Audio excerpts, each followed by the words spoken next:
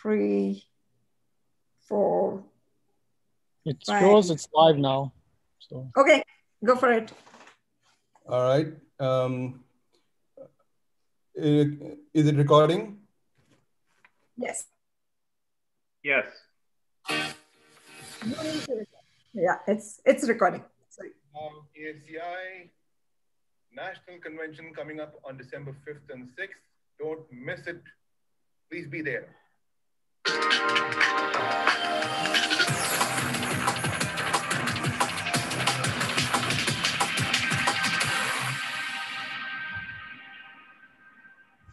Don't miss it. ASEI Virtual National Convention, December 5th and 6th. See you at the convention.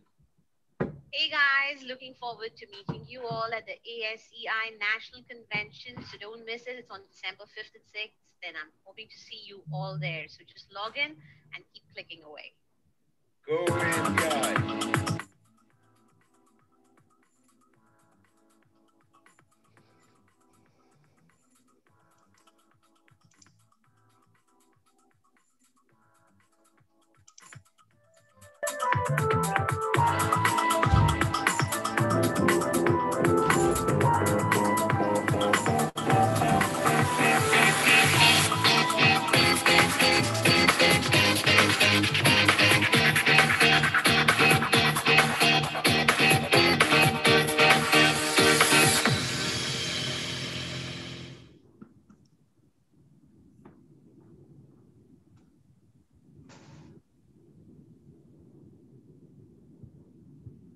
ads play, right? So I have queued them after the ads, Okay. and uh, I have two of them, and we'll we'll we'll play it. Yeah, we'll play it. Maybe. Vatsala, I Hello. don't need to do the hosting, Hello. right? I'm seeing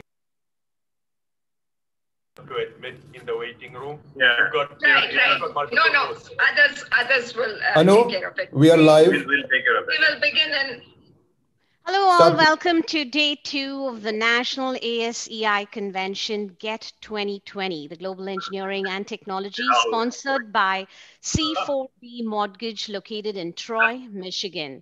So, some housekeeping items before we dive right into the, uh, the, the, the introduction. So, all of you in the audience will remain muted during the presentation. So, please don't struggle to unmute yourself but we would love to have your comments and questions. So in order to have an uninterrupted presentation, we would request you put your questions in the Q&A box anytime during the presentation or right after. We're going to get to, to, uh, get to it if we have the time. We will be monitoring the chat and will post the questions to our speaker at the end of the presentation. And today's webinar is being recorded. We will share the link on www.aseiusa.org. We welcome you to bookmark and visit the website to access resources and apply for your membership so you can hang out with some cool folks throughout the year.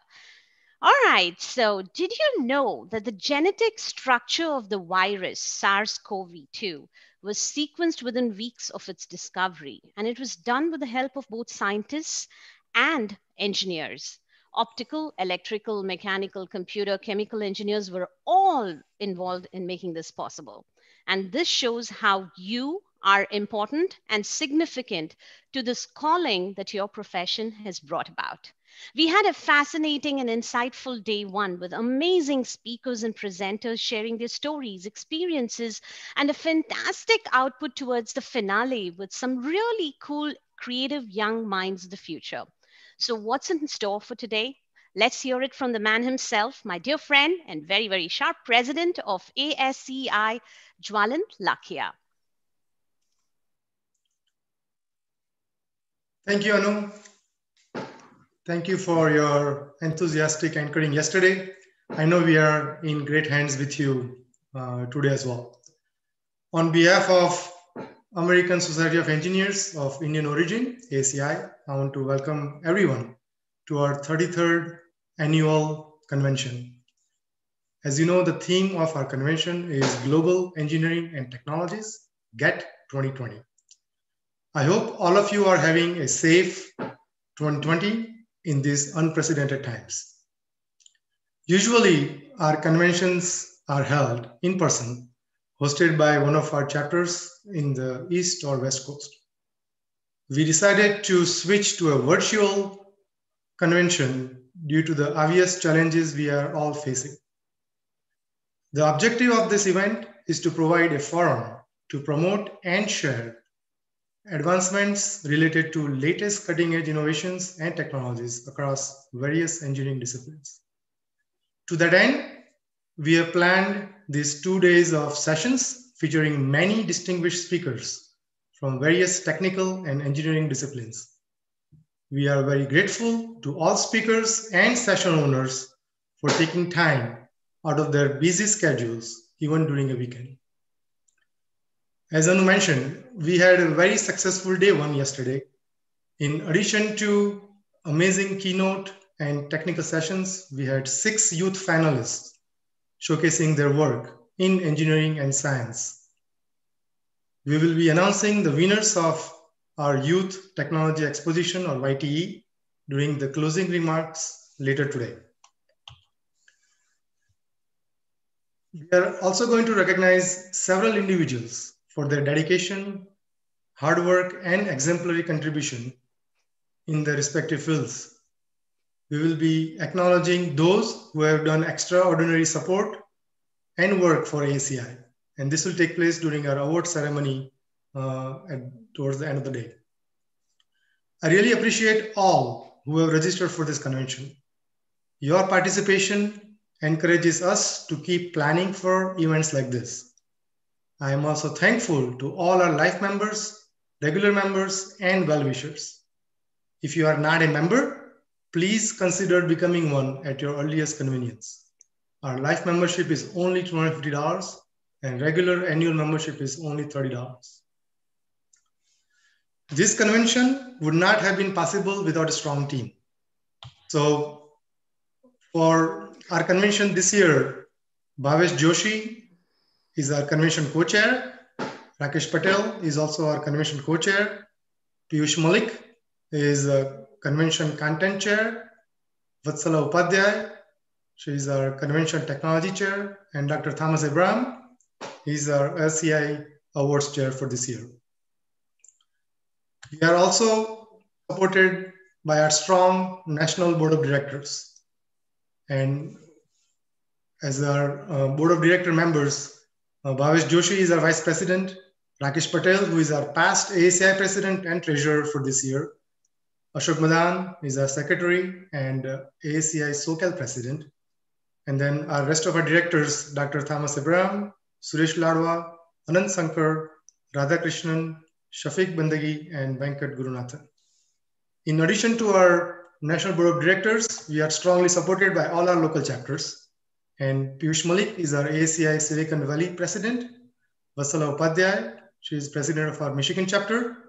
Erin Guman was the president of our Seattle chapter. Ashish Mehta from ACI San Diego. And Sumedha Mohan from our uh, Washington, D.C. NCC area. And obviously, along with these chapter presidents and their strong teams, um, ACI is fully supported both on East and West Coast. Before closing, I want to talk about our founder, Dr. Hari Bindal. He was member of our national board this year, and uh, unfortunately, he passed away a few weeks ago. He was very excited to see us hosting this convention um, on his birthday. ACI was very fortunate to have Dr. Bindal as a mentor, guide, and visionary. And more on Hariji's legacy will be covered during um, our ACI award sessions later today. I wish all of you and your families a safe and healthy remainder of 2020 and 2021. Thank you, and back to you, Anu. Thank you, Jwalant. COVID 19 has upended businesses around the world. Exceptional leadership during prosperous and tranquil times is important, but it often gets overlooked. It's during major crises that exceptional leaders stand out from others. So let's invite our brilliant Amrish Chopra, ASEI Silicon Valley board member and senior engineering director at VMware, the session host for our first session on day two, Leadership in Turbulent Times. Joining him is the dynamic Dr. Satyam Priyadarshy, the Chief Data Scientist and Technology Fellow, Halliburton, hopefully addressing how to move teams and create magic through any unprecedented crisis. Over to you, Amrish. Good morning, everyone. Uh, it's a great start to a new day. Uh, we had a great time yesterday. Uh, this morning, our next speaker is Dr. Satyam Priyadarshy. He's often recognized as the first chief data scientist of the oil and gas industry. He's a renowned global leader in the areas of big data, data science, analytics, and emerging technologies. He's, he's been applying his breadth of scientific knowledge and technology experience to, to provide expensive, uh, to implement powerful solutions in all aspects of data pyramid, which is important for business strategy. He has been, he has appeared as a keynote speaker at numerous international conferences and published research papers in many peer-reviewed journals and magazines. And he has co-founded startups in Washington, DC, Silicon Valley, and, and serves on several advisory boards. His research work has also been profiled in scientific magazines, including the Chemical and Engineering News, The Scientist, etc. Currently, Dr. Satyam Priyadarshy is a technology fellow and chief data scientist at Halliburton, a global oil field service company where he leads the oil and gas industry's first center of excellence for big data and data science. He's also the managing director of Halliburton's India Center in Bangalore.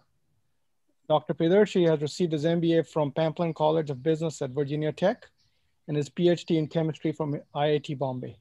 Please give a warm welcome to Dr. Priyadarshy. Over to you, Dr. Priyadarshy. Thank, thank you, I'm Amrish. um, so am I sharing the uh, slides, right? Yes, please.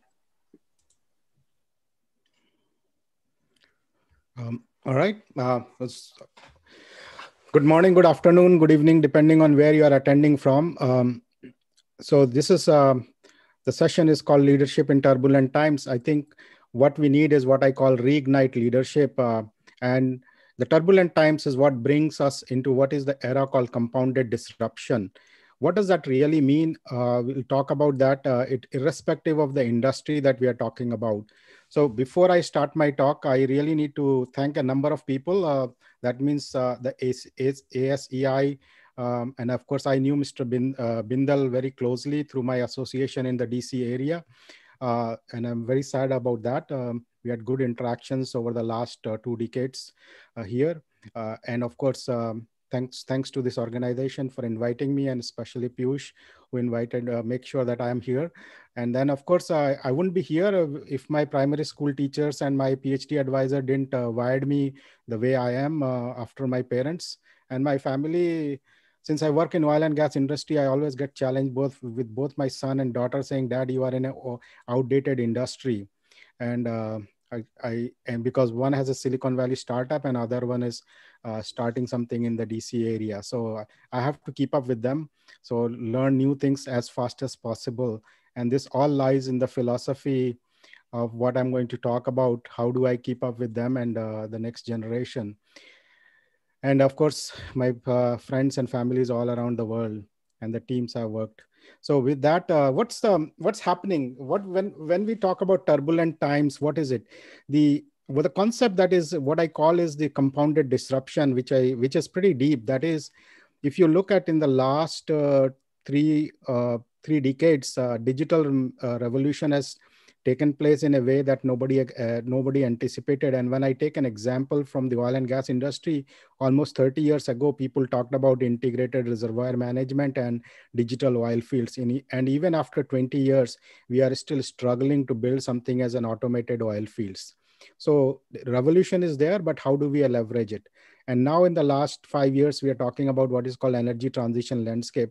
It is not just about energy industry, it impacts all industries because it's a domino effect.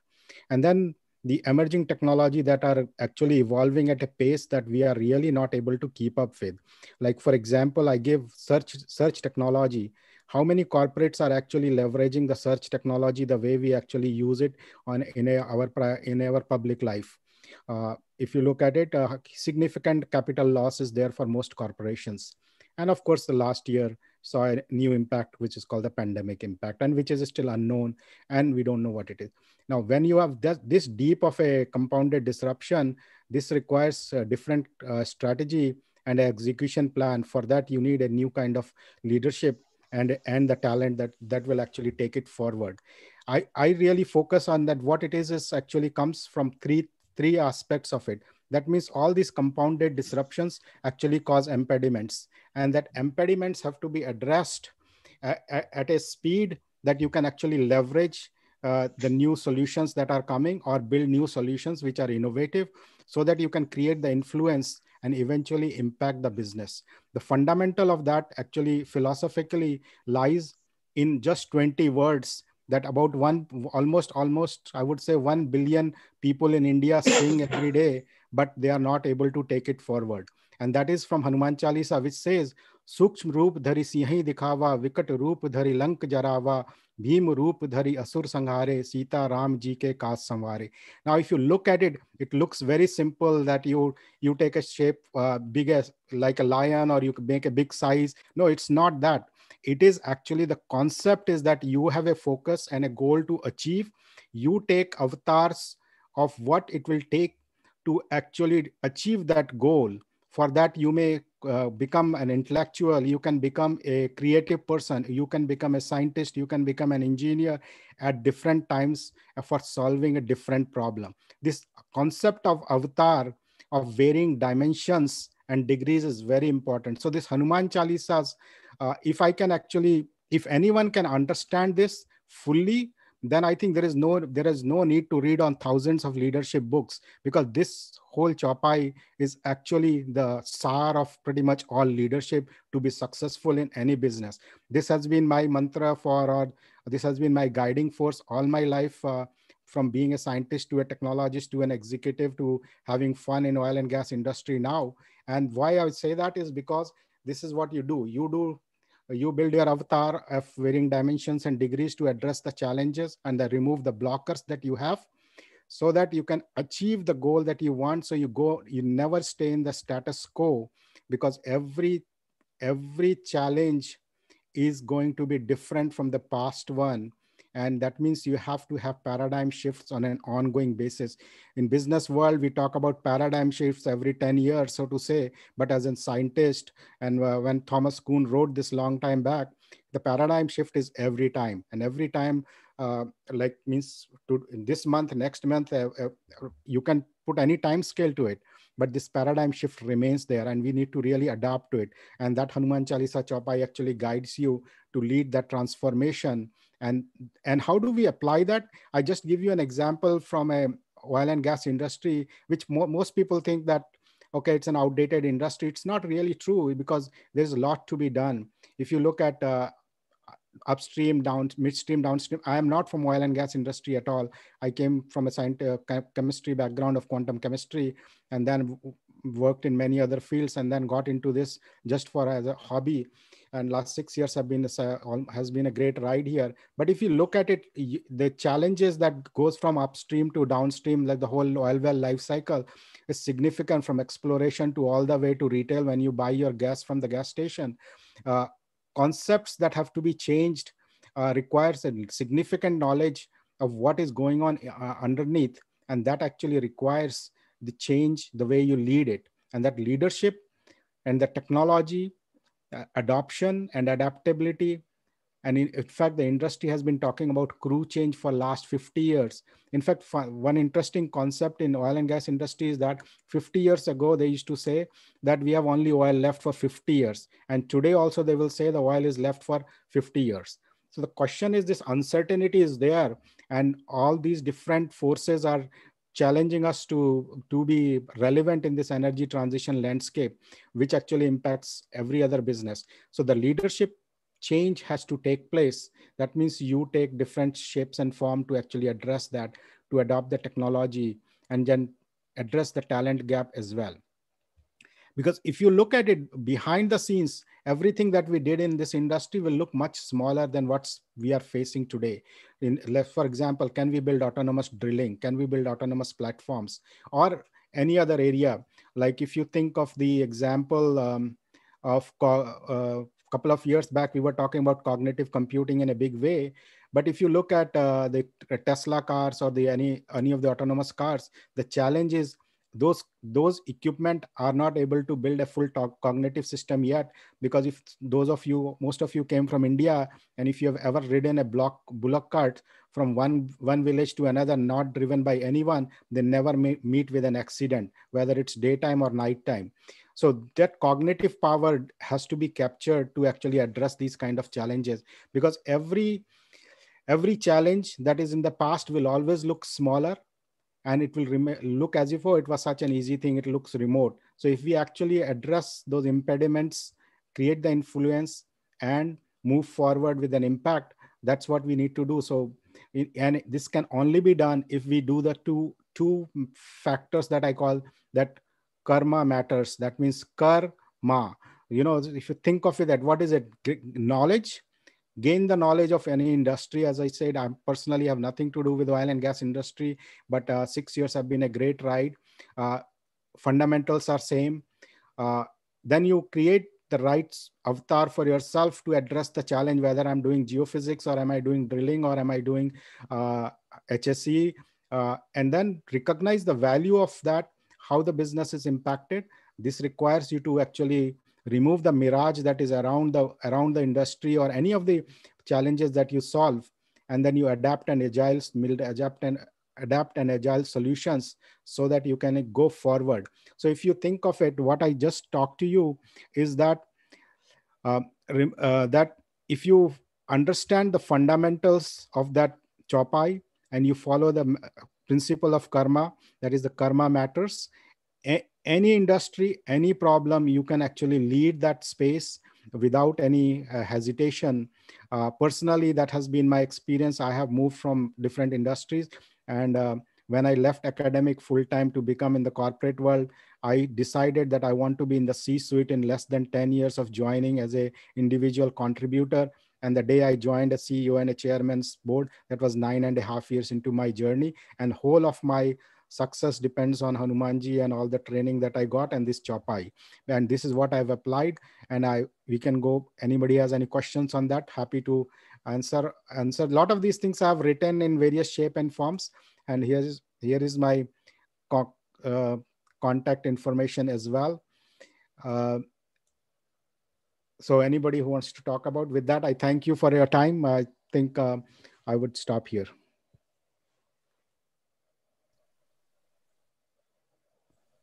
Awesome, Dr. Priyadarshy. This is very motivational for Sunday morning.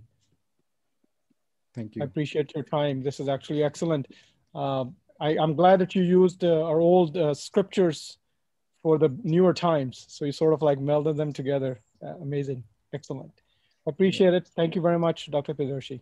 Thanks, Thanks very much. Anu? Thank you, Dr. Priyadarshy, for addressing this new level of complexity in leadership, talent, and strategy using um, our uh, Hindu uh, references. Appreciate your work and time. Um, session one beautifully transitions into career management in a disrupted economy as we stand today. I never saw it coming. It's a very common lament, isn't it? Majority of the companies wither, not because they have surpassed their core capabilities, but because they don't recognize that the competencies that once made them distinctive no longer define success. A whiff of tragedy, nevertheless. Companies are overtaken by a changing world, changing demands, new technologies, new users. So let's bring back our energetic Amrish Chopra, ASEI and Silicon Valley board member and senior engineering director at VMware, who will introduce our next speaker, Dilip Saraf, author, speaker, career, and life coach. Thank you, Anu. Thanks very much. Uh, COVID-19, as Anu was mentioning, has created uncertainty what future jobs will be, how will we interact, uh, engage in them? Uh, the accepted notions of job security, career progression, career choices, they have been shaken by how this pandemic has disrupted our traditional views of career management. Uh, our next guest is Dilip Saraf. He's a renowned author, speaker, career coach, and is the top career coach of LinkedIn. Uh, Dilip that works with over 7,000 clown, including myself, uh, globally since launching his fifth career during the downturn in 2001. Uh, Dilip specializes in career reinvention and has pioneered the concept of inductive resume, which helps clients take their career from the known to the unknown. Together with his genius discovery tools, inductive resume, and forward-looking messages, Dilip has made several breakthroughs in how professionals should project their message and manage their careers through compelling verbal branding. Dilip has also authored five books and has published articles in Harvard Business Review, Chief Executive, and other publications. He has a weekly career thought on, on LinkedIn and is widely syndicated 500 plus blogs by other publishers enjoying wide readership. Uh, Dilip on, also holds two technology patents and has an IIT from Bombay and Stanford. Thank you very much. Please welcome Dilip Saraf. Thank you, Amrish. Greetings, everybody. I'm going to launch my uh, PowerPoint. I hope you can all see it. Can you see the screen? Hello? Yes. Okay, great. Um, I'm going to quickly run through. I'm not going to read every line of my text here, but just give you a thematic sense of what mindset we need to adopt to deal with the disrupted economy. The previous talk actually is a good launch pad for my own topic here because what uh, the speaker said in the past talk is very much relevant to what I'm going to do in terms of how to how to make your avatar work in each transformation of your career. And I've done that five times in my own career. So I'm going to go through this and walk you through how we're going to do this. Um, so so I'm going to. This is the agenda. Basically, the most important part of this topic that I'm going to discuss is the reinvention, which is what I've done with many clients. I've done it myself. The power of the infinite game, which is basically what the previous uh, speaker was talking about, avatars. You can really assume any number of avatars, and the power of the infinite game versus playing a finite game. I just want to talk about that. And the changes you can make, which is the actions you can take to make these avatars work for you. So I'm going to talk about those. So let's go through some of the disruptions. You know, COVID is right in our face right now. So that's all we think about. But if you go back even just 20 years with the Y2K and the uh, 2001 bubble bu- bursting, the technology bubble bursting, the outsourcing that happened, technology disruptions that have happened, cloud, AI, transportation, all of these things are, are continuous over the last 20 years. So there is nothing unusual about COVID's disruption as compared to what we have experienced. So we need to be prepared always to deal with any disruption that comes around. And that's the readiness that I'm going to show you how to do. So, how to be prepared for this, right? So, the first thing is you have to uncover your own story. I call it CPOP, and CPOP stands for customer point of pain. We have been programmed now in the paradigms we use is what is your elevator speech or what is your value proposition? That's what we think about. But that's internally focused. That's me. Nobody cares about me. What they care about them. So the customer point of pain is a shift of mindset that you need to bring about in how you think about what the CPOP is for the customer you're dealing with and how does that translate into your value proposition or your elevator speech. We do it normally exactly the opposite. We say, my this is my value proposition. You want to buy it. No, no, I don't, because you don't know my pain point. So that's that's the main important point I want to, to, to, to emphasize here. And learning to frame your story and cultivating the growth mindset. So you need to be able to frame the story, and I'll give an example in the later slide of what the story is that you are telling yourself first. And I'll give an example that just a few slides down. And then how do you transform that story, as the previous speaker said, the avatar, so that the person looking at the story says, Yep, that's my point of pain. You got it. What can you do for me? That's how you need to kind of take the person you're talking to from where your mind is to where their mind is. And that's not a hard thing to do if you understand how to communicate that well and how to become credible in that communication. We tend to focus on the language that we understand, the lexicon that we use, but we need to understand the language the recipient will understand. And there is always a difference between those two languages. And for you to be able to become credible with your genius, and I'll talk about that in a minute, you have to convert the language that you normally use to the language that they understand. And that's how you have to master your communication. And broaden your network. Now, everybody talks about doing network, but just attaching more people in your LinkedIn network is easy. But building the community is where that is all about. And community that you serve and the community that derives input to you, gives input to you, and makes you more uh, empowered, if you will, by virtue of how they interact with you. So merely building a network, in my mind, is not enough, but you have to build communities around the networks you build. That requires a lot of active effort. And unless you do that, you cannot change your avatars because each community that you build has to, has to understand the avatars you're transmitting. And, and, and once you have that language to convey that avatar, the communities that you'll build will understand that through your credibility. Develop a strong brand. That's very important. It takes time to build the brand. And learn how to learn because there is so much content now being generated constantly new topics, new technologies, new approaches, new applications, and so forth. There is just no time. But if you can do the meta learning around it and understand conceptually what is happening, that requires a different skill. And once you master that skill, and it's not that hard to master, then you can speak the language that the recipient will understand and will accept your avatar a lot more readily rather than getting into the details of the learning of any particular topic. So let's go, what are the strategies that work? It's A, B, C, D, E. I'm not gonna read you which one of them, but once again, build your relationship, build your networks, be vigilant about untapped opportunities.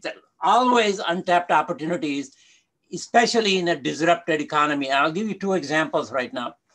I have a Hollywood music director. She was nominated for Oscar awards and so forth.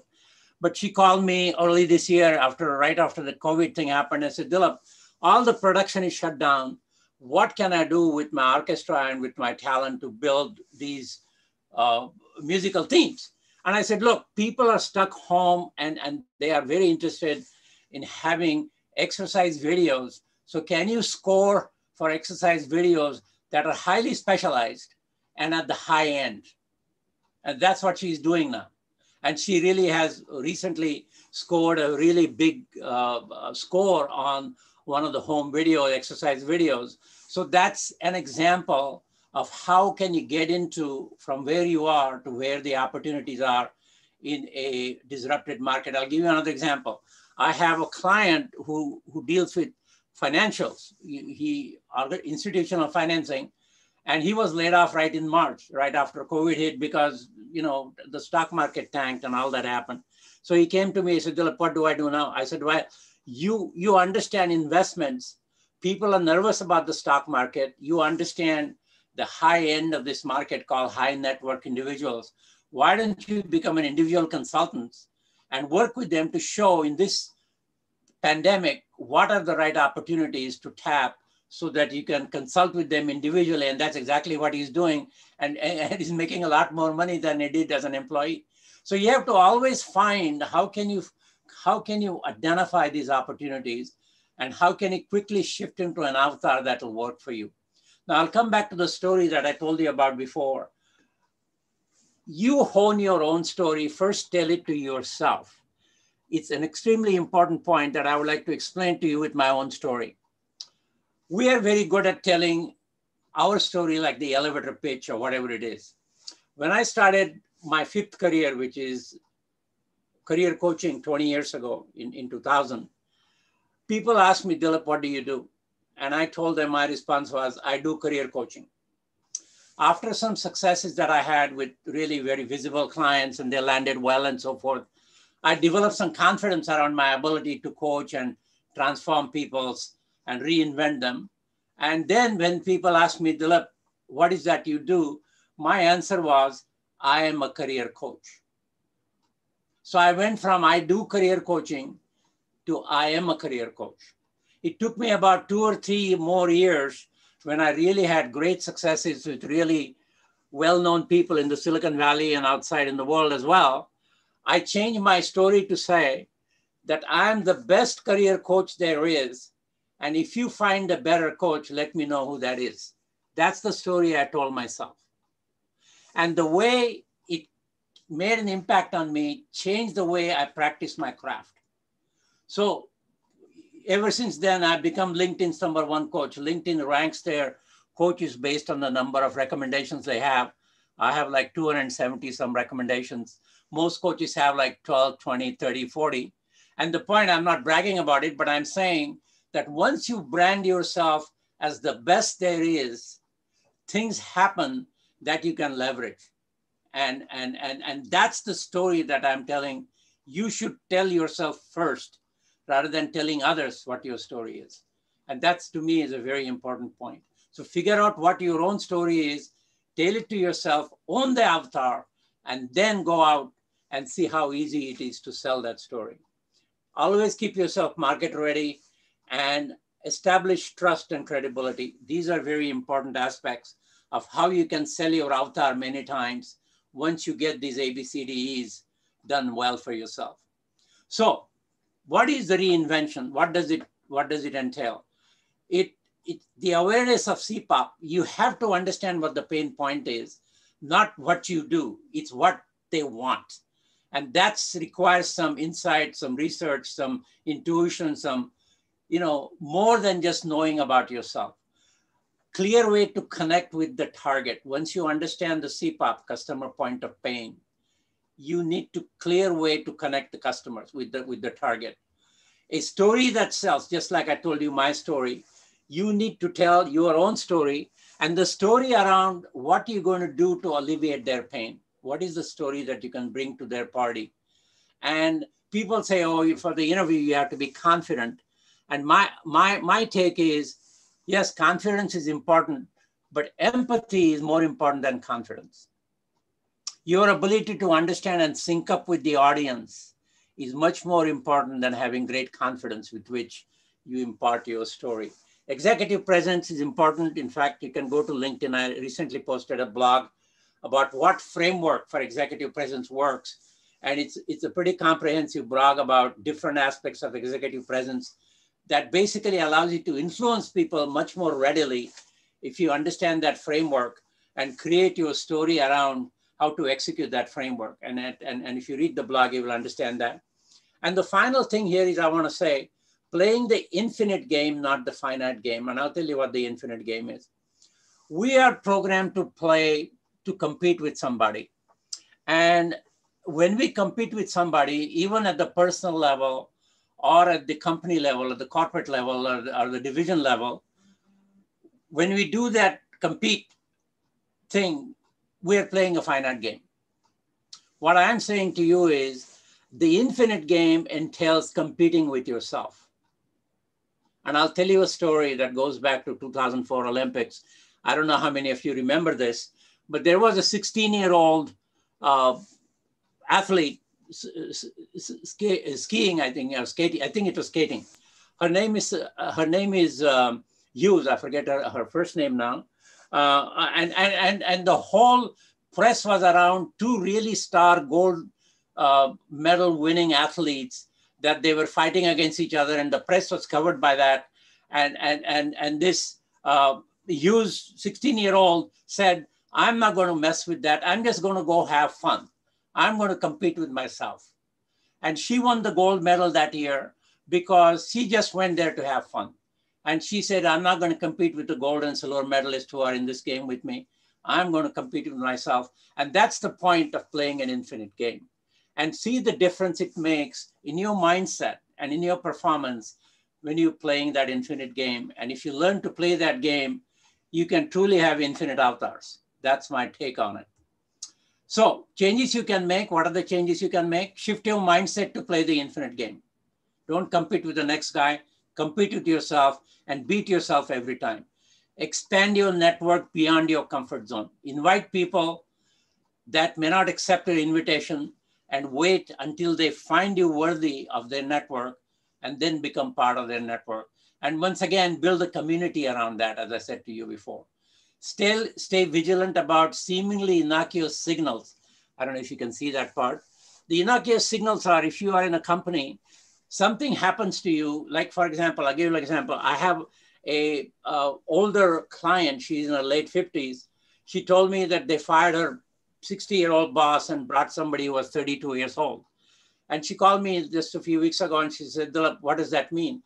I said, it means the company is going to focus on the younger audience.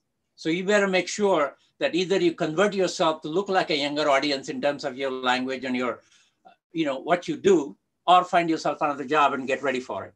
That's what I mean by looking at these innocuous signals. Figure out the story you tell yourself. I've said this three times. I'm saying it this for the third time here, is tell your story first to yourself, and then you're ready to sell that to others. Unless you sell your own story and own it, nobody's going to buy it. And learn how to make preemptive moves.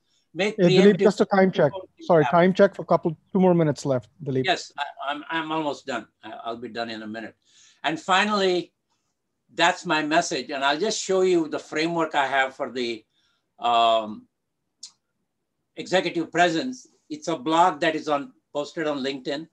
You can go read it. It's a fairly extensive write-up on the blog itself. But this is the framework that will allow you to develop and, and, and work on your executive presence so that it works for you. So that's my presentation. I hope that you find it useful and make your avatar work based on some of these things that I have stated here. Thank you very much. Wonderful. Thank you very much, Dilip. This is very informational. Uh, and I, I'm, I personally actually know that this stuff works, so I can vouch for that. So appreciate your time. appreciate your time. Okay, so thank you. Thank you, everybody. Okay, Anu, it's on to you. Thank you. Thank you, Mr. Saraf, for, for your insightful presentation on transforming avatars based on changing times. It's, um, it's just simply brilliant. Appreciate your work and thanks for your time. Thank you. Just Um, call me Dilip. Just call me Dilip. Okay, Dilip. So, with great power comes great responsibility. By now, we've all realized that disruptive technologies are the most powerful sources in the business world today. Sometimes I wonder how simple our lives were and how simple our problems. But technology has transformed how we live, how we work, how we govern, how we do everything and anything. With it comes a lot of challenges, but it brings with it fresh opportunities. So I'd like to welcome the very well informed session host, Santosh Ankola, ASEI Silicon Valley board member and head of product at TechCrunch and Engadget, as we get into a fun and exciting conversation with Naveen Jain, CEO Viome, founder chairman Moon Express, and Piyush Malik, senior VP, Spring ML, discussing all about creating a transformative change by building positive social impact. Thank you, Anu. Thanks for the introduction. Um, our exciting next session, as Anu said, is a fireside, fireside chat on exponential technologies for humanity's greatest grand challenges. In this session, we'll explore um, the exponential technologies such as AI, VR, AR, and many more that'll help some of the biggest challenges in humanity, and especially in the health and life science industry. Uh, we have in our panel today uh, two marquee speakers, Naveen Jain and Piyush Malik. Uh, Naveen, if you don't know, uh, is an entrepreneur driven to solve global grand challenges uh, through innovation. He's the founder of several companies, including Moon Express, Viome, Blue Dot, TalentWise, Intelius, and Infospace. Moon Express is the only company in the world to have the permission to leave Earth's orbit and land on the moon with a goal to harvest planetary resources and to develop infrastructure to make humanity a multi-planetary society. Viome is focused on disrupting healthcare with the goal of making illness elective. Naveen is director of the board at the Singular University and XPRIZE Foundation. he recently launched a multi million dollar women's safety X Prize uh, to empower women around the world. Naveen Jain has been awarded with many honors for his entrepreneurial success, including Ernst & Young Entrepreneur of the Year, Albert Einstein Technology Medal for Pioneers in Technology, Top 50 Philanthropists of 2018 by Town & Country Magazine, Humanitarian Innovation Award at the United Nations, Most Admired Serial Entrepreneur by Silicon Valley, India, Top 20 Entrepreneurs and Lifetime Achievement Award for Leadership by Red Herring. Welcome, Naveen. It's a privilege to have you. Thank you. Th- thank you very much, Santosh. It's a kind, very kind of you. Yeah. We also have Piyush Malik in our panel, our own Piyush Malik. Piyush is a startup executive, entrepreneur, board advisor, and business transformative, transformational practitioner in the domain of engineering technologies. As senior vice president at SpringML, which is a Google partner startup that builds AI, ML, IoT, and data science solution, he helps enterprise accelerate in their journey towards AI first and cloud first digital transformation. Formerly, he co founded and led the worldwide Big Data and Analytics Center of Excellence within IBM's digital consulting business and was appointed as a member of highly selective IBM's Academy of Technology in 2015. With 25 years of corporate background, he recently ventured into the world of startups and entrepreneurship. In the spirit of community service and give back, Piyush has served on the boards of a number of professional and nonprofit organizations, including TIE, American Institute of Big Data Professionals, and ASEI, where he's the founding president of their Silicon Valley chapter. Welcome, Piyush. I'll now turn it over to Naveen and Piyush. Thank you. Thank you. Thank you, Santosh, for that kind introduction. And um, Naveen, it's a great privilege to be able to talk to you today. It's uh, wonderful that you are here. And I must add, congratulations for winning the Lifetime Achievement Award from ASEI as well. I'm absolutely humbled and honored to receive the award. And just it's an absolute pleasure to be talking to fellow engineers and really looking at how the exponential technologies are really going to be the foundations that will allow each one of us to be able to disrupt many of the things that, you know, normally you wake up in the morning and you get pissed off about it, right? Now is the time for us to actually go out and do something about it. Yeah, absolutely. So, so tell me uh, at the outset, what's the secret to your success? Yeah and then we'll get talking about your other ventures yeah so i think honestly you know first of all let's just define what success really means because i think everybody has a very different idea of what success really means. You know so to me the success is defined simply not by how much money you have in the bank but how many lives you'll be able to improve. And with that definition i think every one of us has a potential to be extremely successful. And to me i would say i am barely on the journey at the beginning of the journey of being successful right have just started where I really believe one day we could save billions of people not having to suffer through chronic diseases. And to me, it's just the beginning of our journey rather than end of the journey. That's really a audacious goal. And at the same time you know i have known you to be a big thinker and i've seen you how you have done a lot of your previous startups. You've transcended industries in your career uh, starting from the internet technologies uh, where you were at Infospace, where you founded Infospace, and then you went on to aerospace industry, Moon Express, and now personalized health and nutrition via Viome. So um, I just want to understand how do you do that so rapidly, different industries, and what's your learning style? Mm-hmm. I think that's a really, really good question, Piyush, because that is the fundamental to what every one of us should really start to embrace. The you know, first thing is once you become good at something, once you are an expert at something, you become, I would say, useless. But what I really mean is you become incrementalist. The best you can do is to be 10% better than someone else. You can be 15% better than someone else, but you'll never be 10 times better than someone else once you're an expert. And you really need to come in from outside the industry looking in and it's not thinking outside the box it is thinking in a completely different box applying the knowledge of the you know technology from the internet industry, applying them to uh, aerospace, taking that learning, applying that to healthcare, right? And when you do that, you challenge the foundation of what everyone has taken it for granted. And that's how you come up with a completely disruptive idea.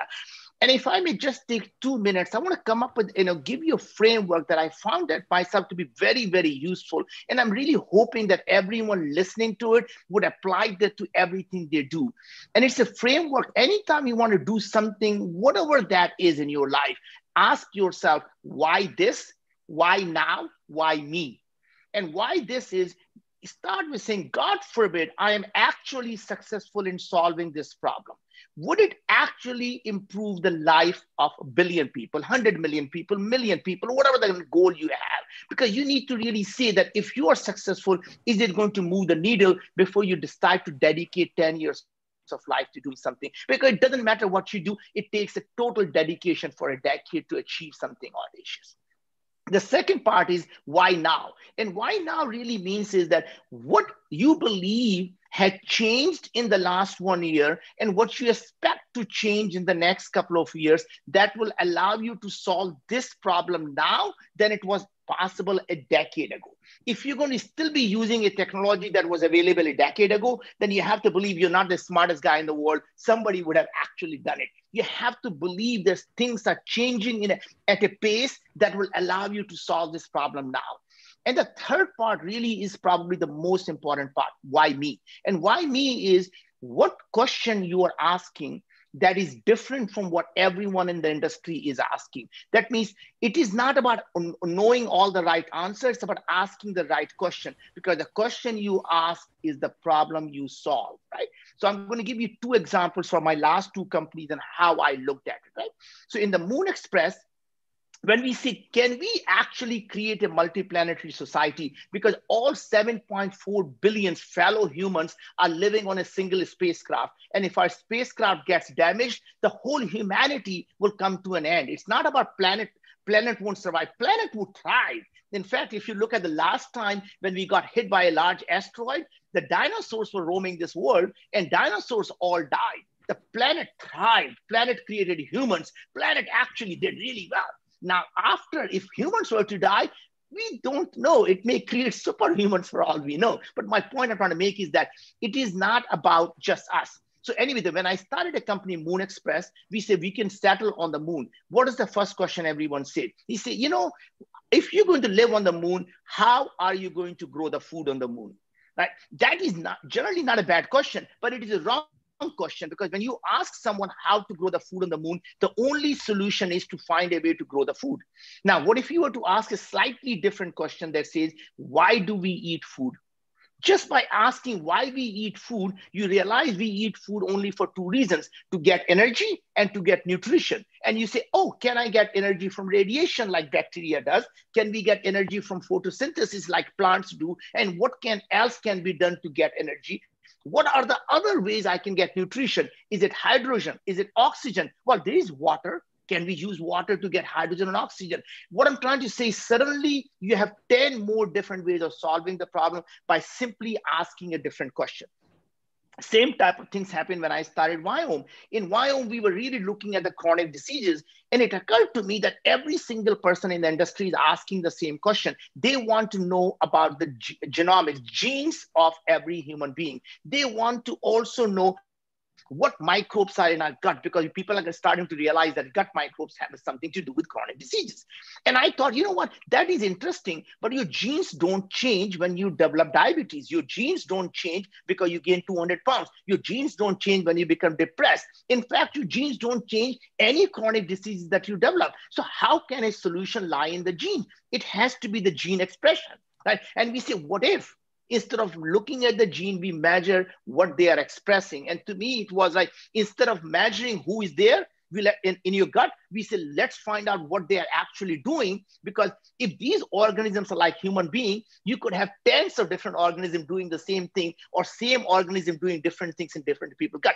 So just by asking a different question, it led us down the path where we are able to completely disrupt this whole healthcare industry that nobody would have believed or aerospace industry that nobody would have thought of.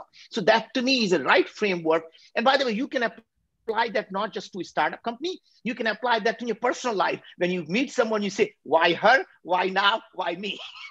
and you can come up with the same answers. Wonderful, wonderful framework, Naveen. I love it. I love it. And the examples you gave really bring to life your thinking is so clear and you're so articulate. I love it. And of course, you're a great storyteller. And I really, really loved, uh, I don't know when I read, um, whether I was reading your moonshot or I saw an interview somewhere where you talked about how um, uh, there's the, the gut talks to the brain.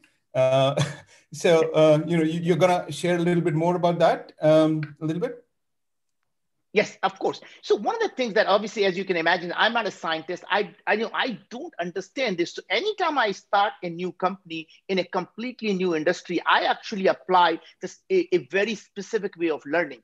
So if you read one book on that subject, what happens is the author's view becomes your view. So you never want to do that. So you want to read 20 books. So you have now 20 data points of how different people are looking at that problem. And then you create a 21st view, which is your own by connecting all the dots. And that view actually becomes an Uber view of what every expert has not connected the dots because everybody is looking at their own dots, right? And you actually, it allows you to connect all the dots. Another thing is everyone talks about that somehow that, you know, people have this crystal ball people who succeed they're able to see what is going to happen in three four years and that's what makes them successful. In fact it is a complete misnomer. So here is how i've always found myself to be slightly ahead of what's happening by simply looking at what is coming out in the academic journal today journal today is what you're going to be seeing five years from now in the real world. So when i said you know i want to really look at the you know in this decade the chronic diseases. So first thing I did was let's look at what what are the latest cutting edge nature cell. What are the people talking about? What is causing these diseases? And it turns out everyone was saying that depression is caused by what's happening in your gut. Alzheimer's is uh, caused by what's happening in your gut. Parkinson's start 15 years before you see the first symptom. It starts in the gut, right? And now I'm looking at all these things people call gut microbiome. I have no idea what gut microbiomes are, but I'm now convinced something's got to be done about this gut microbiome. Then I started to look and say there are 10 companies who are doing the gut microbiome testing. So how can that be a problem? 10 companies looking at it, the problem is not solved. Either I'm a moron or they're asking the wrong question. And then I say, what are these companies actually doing? It turns out every single company was simply looking at what are the organisms in your gut and i and they were hoping to figure out if two people have diabetes this person has this organism this person this organism somehow they're going to be able to bring the diabetes people to non-diabetes and i kept thinking i said look this can't be true. If you look at the you know how many different people can do the same job what if there are many many different organisms that are doing the same thing? So by looking at them it will never solve the problem. The second part that was really interesting was i said you know same organisms can do multiple things. So it could, in your gut, maybe doing something that is good. In my gut, it could be doing something totally bad. And it turns out that even though it was a hypothesis, today it turns out to be true. So whether you look at any organism, people like, you know, technical, this organism called Akkermansia, everyone thinks it's a probiotic and you should take it because it's good for you. In fact, it turns out in some, in some people's gut, it becomes really, really pathogenic and it causes multiple sclerosis. It causes many other diseases. You look at C. diff, it can kill you, or C. diff can actually be really good for you, producing butyrate and short chain fatty acid. So to me, the key was understanding that our gut and our brain is a bidirectional communication. And what happens in your brain affects the gut, but most importantly, nine times more signal go up than the signal come down. That means what is happening in your gut actually changes your brain. So today, some very interesting research come out, Piyush, that this gets me excited, that people were able to simply do a fecal transplant. People who had alcohol addiction and addiction went away. People who were depressed, the depression goes away. People who were anxious, the anxiety goes away, right? And now what we are seeing is even the cancer.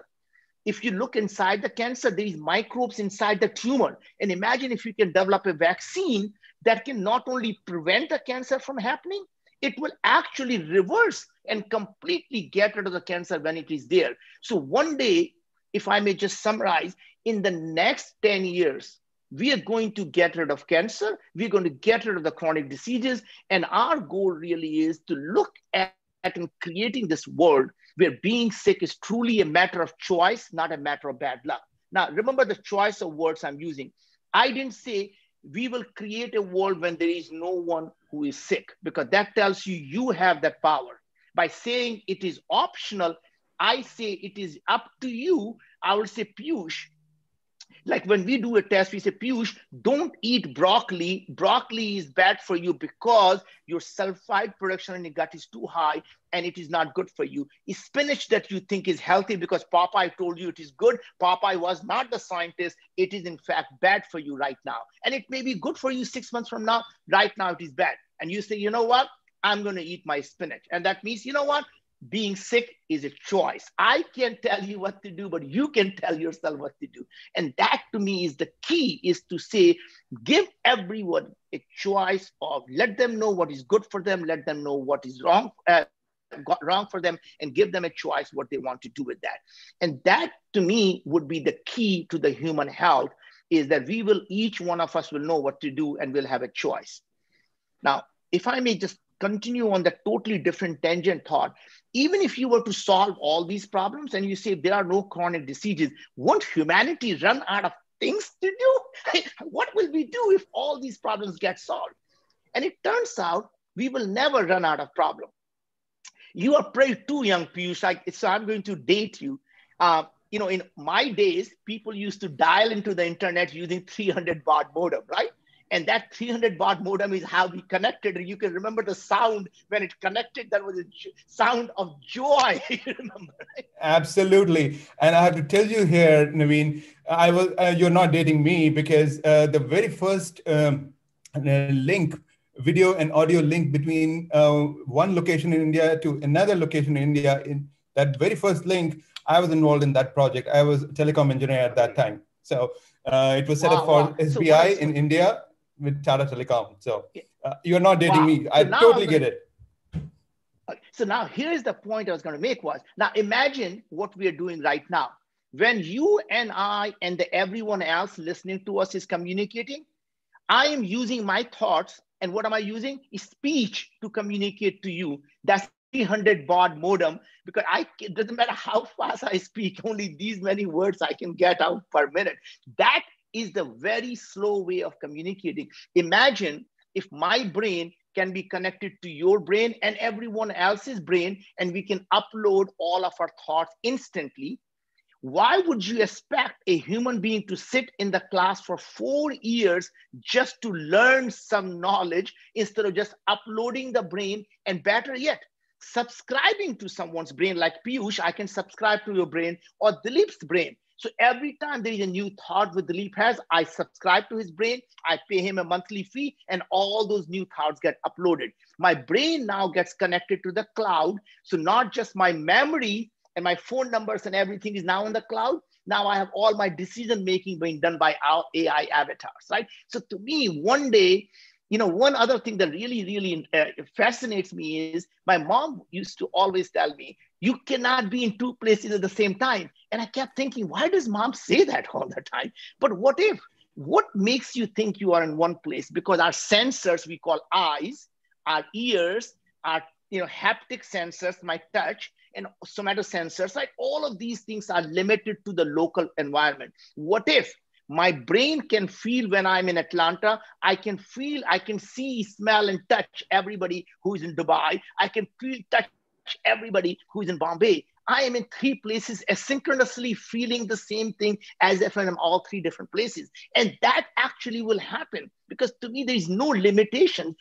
We are so limited by the biological gift we have. We see only a small amount of wavelength. We hear very small amount of wavelength, right? Now imagine if I told you that I'm hearing a Taylor Swift right here, you would say this guy has really gone cuckoo because there is no Taylor Swift playing. And you put a radio and you can hear it. That means sound is here. We just can't hear it. And anyone who can hear it, we think they're a cuckoo, right? But they're not a cuckoo. Yeah. They, in fact, are super enabled, right? Yeah, yeah, you're talking some things which are science fictiony, uh, like science fiction, and uh, I'm reminded of uh, something that I saw on perhaps Netflix, Upload, uh, which talked about how people can be um, have an afterlife uh, where their entire memories are uploaded. And so the idea of subscription is like as if you're subscribing to a YouTube channel. I really yes. love your examples and your style, Naveen. We could go on and on, but I want to make sure uh, we have some questions from the audience as well. So I'm just keeping an eye on that. And um, uh, I don't uh, see anything. Well, there are people who are expressing they want to be in multiple places. But uh, before we, uh, I see any other interesting question, I would want you to see if you can explain the concept of exponential technologies and the grand challenges and how you support them. Of course. Yeah, so Piyush, exponential technology, the technology that are accelerating at a pace, and you can say they double every year or they double 18 months, right? So it's a Moore's law is one of the exponential technology that says number of transistors on a silicon would double every 18 months, right? Now, the interesting thing that's happening is we are building the technology on top of the existing technology. So acceleration itself is accelerating, right? And that is really the key and you know that that thing is really how you start to see what is coming actually in the next couple of years because the exponential technologies are so disruptive that most people would never even fathom about what that really means right? So if i were to tell you uh, piyush you have two choices. I will give you a million dollars right now or i will give you one cent today and i would double it every every day i would double it for 30 days. So you'll get one cent today two cent tomorrow four cents next time. Everyone will take a million dollars today. And what they don't realize is when you're doubling one cent every time by the time you go day 30 it is a one billion dollars right? So my point is human mind cannot actually understand they understand linear. One cent one million i'll take a one million dollar right now right? Yeah. but they don't understand when something is doubling it looks really nothing is happening until it hits the knee of the curve and it just takes off. And people say, oh, where did that come from, right? 3D printing is a great example. People keep talking about, oh my God, 3D printing is so new. It came out of nowhere. Well, it has been 30 years. 30 years. In fact, all of the patents on 3D, print, 3D printing are all expired, right? So my point is because it was so disruptive for, you know, double, double, double, double, and boom, it took off, right? And that happens in, by the way, almost every digital technology. And that's the reason I felt the healthcare, the timing was now to do healthcare right, you have to digitize the human body. And that means you have to be able to take an analog sample, blood, stool, saliva, pick a name you want, and to be able to convert them into digit, ACGT. Once you do that, it follows the path of an exponential curve. Then the cost of processing gets really, really easy. Now you can put them at 1,000 core at AWS, analyze the data really cheaply. Then you can use AI to be able to make sense of all of that. And suddenly the thing that was used to be on a trial and error linear path, now we've gone an exponential path. And today we can not only predict before you have a disease, we can predict 30 different diseases. Just to give you an idea, we are less than three-year-old company. We can predict just by looking at your saliva that you are going to have a stage one oral cancer with 98% accuracy just by looking at saliva. We are doing now trials with GSK on colorectal wow. cancer. We are looking at now in all diseases like Alzheimer, autism. We are looking at disease like diabetes, heart diseases, obesity. So my point is because once you digitize, it's not one drug, one thing, it takes 10 years. Boom, you have all the data about. Now, since we have analyzed over quarter million people, Piyush, we have the most amount of data that has ever been collected. Most trials are done on 10,000 people. We have 250,000 people. So we can literally say, here is what causes depression, and here's what we can do. Using food as a medicine, using drug as a medicine, using vaccine as a medicine, to us, it doesn't matter. It is literally a modulate this pathway into this absolutely fascinating i mean this is this is wonderful. And i love this quote from hippocrates which said let food be thy medicine and medicine be thy food. And that's what uh, you are talking about here. And you have actually and he also said inspired. all diseases begin in the gut. He said all diseases begin in the gut. So we knew that 2500 years ago Wow, wow. And, and uh, are you drawing any inspiration from uh, the ancient Indian texts as well? Because as you know, you know, father of uh, uh plastic surgery uh, was from India, uh, ancient India. And of course, in, in, the modern times now, you have um, your, I believe, your CTO on Viome came from IBM, the head of IBM Watson, and a former colleague of mine. So say hi to him uh, from me. But uh, I want to hear that story, how know, the ancient wisdom and modern technology, AI technologies, how you are applying in your uh, companies? Uh, so first of all, I think Santosh is uh, hinting us that I think we might our time might be running too short here. So I don't know how much time do we have, but just to give you an idea, the ancient wisdom never dies. The ancient wisdom has been a trial and error for many many generations. So it's to give you such a simple idea. You know, in India, we put butter on the bread, the ghee on the bread, right? Or we eat the bread with the butter. Why is that? The carbs have very high glycemic response, but when you put a fat on it, it reduces the glycemic response. And that's the reason we'll put the thing when we eat carbs, we always put a fat, which is called ghee in it. Now, that is to me is something they learned through trial and error. Now, today, I can tell you with a glycemic response that when you have a bread, the carb the fat, it actually reduces the glycemic response. So, sure, we can now tell you exactly why and for who so some people it may not work, and we tell you which people it will not work. For which people banana is bad, which people bread is bad, but they can eat bread all they want, right? So you know, so my point I'm trying to make is that ancient wisdom was trial and error. Now we can be very, very precise for each individual. We used to do the kapha, pitta, and you know that thing. I mean, now that was a personalized food, and now we can go even more precise. But it is really the same Ayurveda culture of personalizing the food, Absolutely. and someone will tell you this food is not good for you, right? Absolutely. And one more thing from Ayurveda, as well as your modern thinking, yeah. is the abundance mindset and how uh, meditation, medication, and um, microbial things can basically reduce stress and lead to better health. So, uh, Naveen, um, if you can uh, summarize in one sentence message to our audience, what would it be? First of all, my message would be dream so big that people think you're crazy and know that you only fail when you give up. So don't ever give up. Continue to uh, continue to pursue your dreams and know that everything is possible. Wonderful. Thank you very much. It was a pleasure talking to you. Back to you, Santosh. Thank you. Thank you, Naveen. Thank you, Piyush. I mean, we could have gone on and on the whole day, but unfortunately, this has to come to an end. Uh, there are there are a few questions. I think we can try to answer them on the chat. Uh, but with this amazing session, I'm truly inspired personally. I'll pass it on to Anu. Thank you. Thank you, gentlemen. That certainly was a fascinating journey into your mind, Naveen. Simply genius. Appreciate the work and the passion you bring to your field. Best to all your exciting endeavors. And now to the flavor of the season. The data all over the planet, threats and frauds are pretty imminent, right? Did you know that 68% of business leaders feel that their cybersecurity risks are increasing? Did you know that data breaches exposed 4.1 billion records in the first half of 2019? And that hackers attack every 39 seconds? And listen to this one since COVID 19, the US FBI reported a 300% increase in reported cybercrimes. And I can go on and on, but let's welcome our session host, the very talented and brilliant Sukruta Baduria, CTO Girl GeekX and engineering manager Salesforce.com, to introduce our next set of panelists who will discuss the nature of cybersecurity industry. Over to you, Sukruta. Thank you, Anu. So, like Anu said, I'm Sukruta. Uh, I'm going to be introducing our speakers for our next session.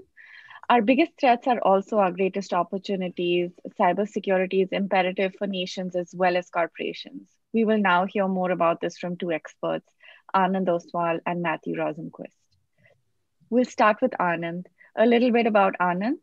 Anand is SVP and GM at cybersecurity leader Palo Alto Networks, where he leads the company's firewall as a platform effort. He holds over 60 US patents. Welcome, Anand. Thank you. Um, so happy to be here. Uh, it's really hard to follow Naveen. It was a wonderful talk by him. I'm going to talk a little bit about cybersecurity and talk about what's happening in the industry today and, and what are things that we need to watch out for. So, you know, if you look at the industry, we're having a lot of things happening in parallel. I think in many ways, we're having some mega transitions that are really impacting enterprise IT uh, network security in a big way. The first is rise of the mobile workforce. And, you know, this has been in, in many ways accelerated immensely with the pandemic of COVID. But mobile the rise, the, the mobile workforce has been on rise for over a decade, right? Uh, 80% of desks pre-COVID as well were uh, were deskless, so there no no fixed uh, uh, places for people to go in the enterprise and sit to. And with the current pandemic, this is like everybody, 100% of, of everybody of companies are remote, businesses are happening remotely, you're getting uh, your employees working remotely, sales, everything is happening remote. So that's one big mega transition happening. The second is, I think, the, the shift to, to cloud. Like for all the big a shift that's happening to the cloud. If you look at the overall enterprise IT spend, the all the spend in the um, the PaaS and IaaS and SaaS is about 10 15% of the overall IT spend. So for the foreseeable future, we are going to see uh, we're going to live in a hybrid world that is going to have on-prem, virtual, and cloud. And you also seeing the big cloud providers now having solutions for on-prem, whether it's Outpost or Anthos and whatnot. That's the second big mega transition happening. The third is this whole notion of, I, I call it direct to app. And a lot of people talk about direct to cloud, but still a lot of applications are not in the cloud or in the private data center. So I, I call it direct to app. And, and by this, what I mean is that we want to access the application, wherever the application, the best place to access the application, within the cloud, SaaS applications, in the data center. However, one thing to note is that the expectations that we as users have is increasing whether you're in the headquarters, in the brand site, at home, in a coffee shop, on the road, you expect the experience that you have with the application to be the same awesome experience no matter where you are. And that's really leading to three of these mega transitions happening together. So how do you um, ensure you are having the right level of security and how do you align your principle, principles and the approach you have? So from a security perspective, if you think about it, if you are IT, you want to ensure that your users can access uh, the application that they want to access from anywhere, from any location, from any device. The applications, they're anywhere. They're in the cloud. They're in multiple clouds. They're SaaS applications. They're in the data center. You're accessing them over any plethora of different devices. You want to have the best user experience, but you also want to ensure it's fully secure. So you want consistent security and management across the, all the form factors that you're in a hybrid world, you're in an on-prem world, you're having applications and data center, you've, you've fully made that, uh, that pivot to all cloud. You want to have the consistent security, consistent policy management across all of this. The second one is really around best-in-class integrated security services. Look, the security industry is the most fragmented industry we, uh, that exists today. And why is that so? I think if, we, if you rewind the clock back 25 years ago, networks were simple right? You had a bunch of computers connected to each other and uh, connected to a server room. And what was security? Security was ensuring nobody can have access to the room where you have your server. And then the world started getting complex. You started having accessing, you, you have laptop and you're accessing now VPNing and accessing your resources from home. And the job of IT at that time was to ensure that the right people access the right resources. So security was still in many ways centralized in the DMZ. It was a hub and spoke architecture. What's happening today is, like I talked earlier, is that your applications are everywhere, your users are everywhere, your devices are not all managed endpoints, which means that some of them are bringing your own devices to the enterprise. So now this, this whole fragmented nature is beginning to hurt enterprises because you want to have the, the notion of network effect. How does how does your um, anti-phishing or antivirus make your data protection even better. You want to have the effect of network data. So you're looking to have this integrated platform where you can have all your services run. You want best of breed, but you also want it integrated and benefiting from each other. And the third approach that is really important is this whole unification of networking and security. If you think about it, networks built in the past, and even, even now in many ways are complex. You build a bunch of devices in your branch, you build your hubs, you build your regional hubs, you connect these regional hubs, you lease line from service providers, try to connect them together. It takes time, it takes money, it's complicated. There should be an easier way with the advent of cloud. That's really the whole notion of how do you get networking and security combined. When the internet was first built, security was in, in, in many ways an afterthought right? It was not something that they had thought through when they started building on the internet. And now when we have to think about how the world has to go, these, these two need to really be intertwined and connected seamlessly and not bolted on. So with that in mind, I'll, you know, I'll talk about some of the hot topics in cybersecurity today. I think the whole the whole notion of attackers. This is the only industry where we have adversaries who are on the lookout every single day. And if you talk about using AI and machine learning in your products, the adversaries are using them as well. 95% of all the attackers, hackers that, that are trying to get into these things are using AI and machine learning. They're taking existing malware and they're morphing it.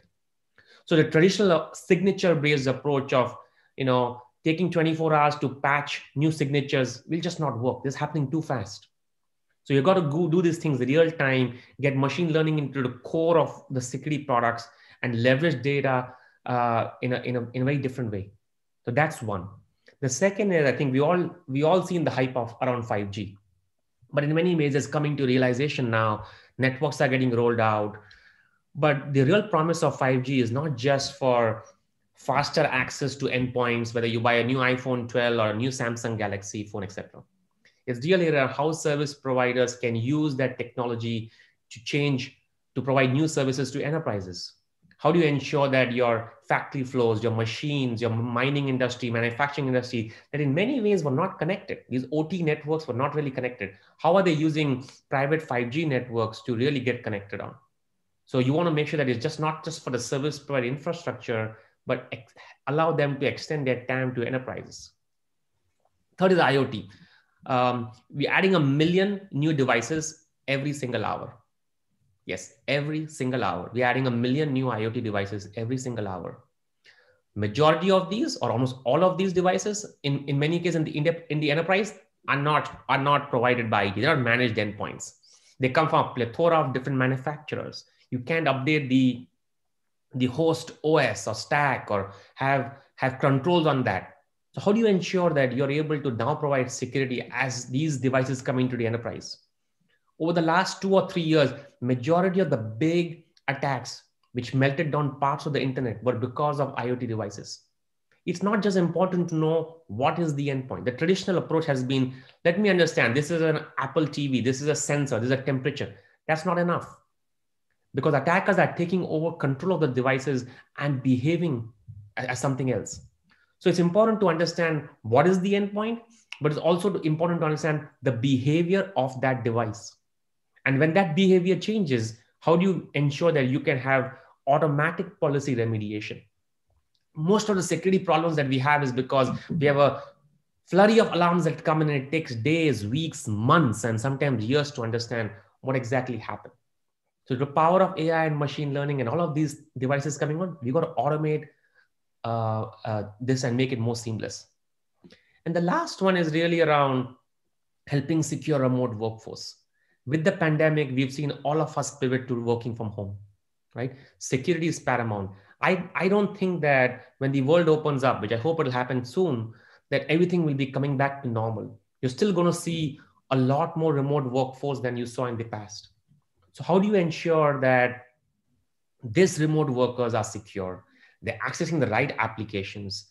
They're accessing things that they are compliant and, and ensuring that their devices, that their hosts have integrity, their device posture is accurate, the application that they access in the cloud, they're not getting uh, uh, malware from. So all of this, bringing the unification of networking and security, ensuring that you can provide secure remote workforce is going to be uh, an area which is going to uh, have a lot of new things coming as we see more and more uh, work, workforce continue to stay remote uh, even after the pandemic opens. With that, I'll, um, I'll pause. I think we have Matthew. Um, Hi, everyone. Uh, our next speaker is Matthew. Matthew is the Chief Information Security Officer for Eclipz and has had 30 diverse years in the field of cyber, physical, and information security. Welcome, Matthew. Thank you much. Thank you much. Let me share a deck. Um, it's always a pleasure to talk to engineering communities uh, because you've got such a great perspective. And I'm here both to, um, let's see if it comes up. Uh, uh, let's see if we can see that. Can we see that okay? All well. Mm-hmm. All right. Um, so I'm here both to, uh, you know, talk about the future of cybersecurity um, and and to help the audience, especially as we get into the discussion, but also to challenge you a little bit, uh, because again, everybody comes at cybersecurity from different perspectives. So it's good to kind of get some of the things reinforced and some of the ways that we think sometimes challenged. So I'm just going to spend a couple of minutes going through this, and then me and Anand can can have a great chat. Uh, and Anand talked a little bit about you know some of the changes, and again, our industry is chaotic; it's constantly changing. In fact, cybersecurity changes at the same rate of technology innovation as digital technology um, you know increases and expands and does wonderful things to connect and enrich people's lives all over the globe well, the need for security also rises because as digital technology weaves into our lives, we get dependent on it and we enjoy those capabilities and that has value and where there's value well then there's attackers not too far behind and we have to worry about those we do have those intelligent adversaries that are always looking to gain that advantage and the engineering aspects of technology is crucially important when we talk about the bigger picture of cybersecurity now, engineering isn't the only aspect of cybersecurity. It's important. It builds the playing field. It is, you know, the foundation. However, there are many other aspects as well. And as an engineering community, we kind of have to understand the bigger picture and all of our roles as we work together to try and increase the trust in technology. So, as technology rises and we all adapt to it, uh, you get these organizations and companies and so forth they want to meet those expectations of the customer, right? So security and trust and privacy and things of that sort, it's becoming a competitive advantage, which puts more uh, emphasis on the engineering to make sure that those products are coming out into the marketplace hardened, secure, protected, and continually evolving to meet the, the threats. So, you know, it's important that, that we understand that uh, especially as we look at the long term changes of how society is adopting uh, technology and their evolving security, privacy, and safety needs along those same paths. So, on the other side from from an engineering perspective you get all these challenges. Okay we have to secure things but again as naveen said people don't want to sacrifice the usability or the functions. They don't want it to cost more or anything like that and that creates friction and it really raises the bar for the engineering community and it can be frustrating absolutely frustrating. So, so you know it's it's important at the end of the day that we're looking at how the bad guys attack what we use in the technologies and how those then change the expectations. If you've lost your personal data and had your finances um, you know destroyed all your, your your money taken out of your bank account or your stock exchange that will fundamentally change how you value security. And so for every attack for every exploit, for every pain that people suffer in technology when it comes to security, that then changes a little bit and eventually in aggregate what society demands. And you know the the age old challenge for engineers, right? People want something fast, they want it cheap, and they want it to work real well. And you know, pick two, right? Well, unfortunately, now with security, we add to that model and now you add security into there. And again people still want it cheap. They still want it fast. They still want it good but now they also want it secure. So that that puts a lot more pressure on the engineering community. It really does. And it's a great opportunity though because it shows how engineers can step up can solve problems can help contribute to the greater picture of security. And that's something that the engineering community is in progress of right now. And we're seeing the very best engineers and the engineering teams embrace that. It's it's a headache. It's you know you lose a lot of hair uh, but it's also a tremendous opportunity for the growth of the engineering communities and how products are engineered. So again you know we see engineers moving forward in the future making sure that there is that trust which means privacy and security and even safety because a lot of devices today they're not just gathering information they're actually controlling the world. That autonomous vehicle that we all want to have you know it's going to be able to control the acceleration the turning and so forth. We don't want that hacked. That's a life safety issue right? So engineering has to, to really step up in collaboration with the risk assessment and the operations and everything else to figure out okay how do we intersect some of these threats And every change that we look at, okay, something's coming, 5G is coming, well, there's going to be 5G and 6G and on and on and on. That continues to evolve. The threats will continue to evolve. Good engineering practices, that enhances the foundation to address all those future problems. So it's very, very important that we understand how important this community is when we talk about engineering for good cybersecurity into the future. And at the bottom line, right, we don't want bolt-on security. We want it, embedded from the architecture, design, Q&A, even before it hits the, the general populace. So hugely important. And at the very end of the day, you know, engineers, good engineers create secure products. And so that's a mindset change for, for many people in the industry. Um, and so cybersecurity, it is both an opportunity and it's also a threat. And so, with that, Anand, let's have some discussions. All right.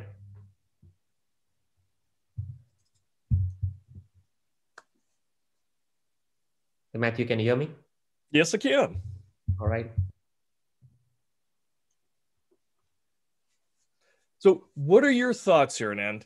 Um, you know, as cybersecurity evolves, and you know the the threat agents out there are constantly adapting to the technology um, you know we talked about ai ai is a tremendously powerful tool but a tool can be used for good or for bad what are your thoughts in, in how we have to evolve as an engineering community to help it be used for the good and, and maybe put some controls in how it can be used for the bad yeah I think that's a that's a great question, Matthew. I think look, I think uh, from from a security perspective, like I said earlier, this is the only industry where we have active adversaries trying to break us down constantly, and it's never going to stop. You're not going to be in a world where you say, "Look, I'm all secure now. I can go to sleep."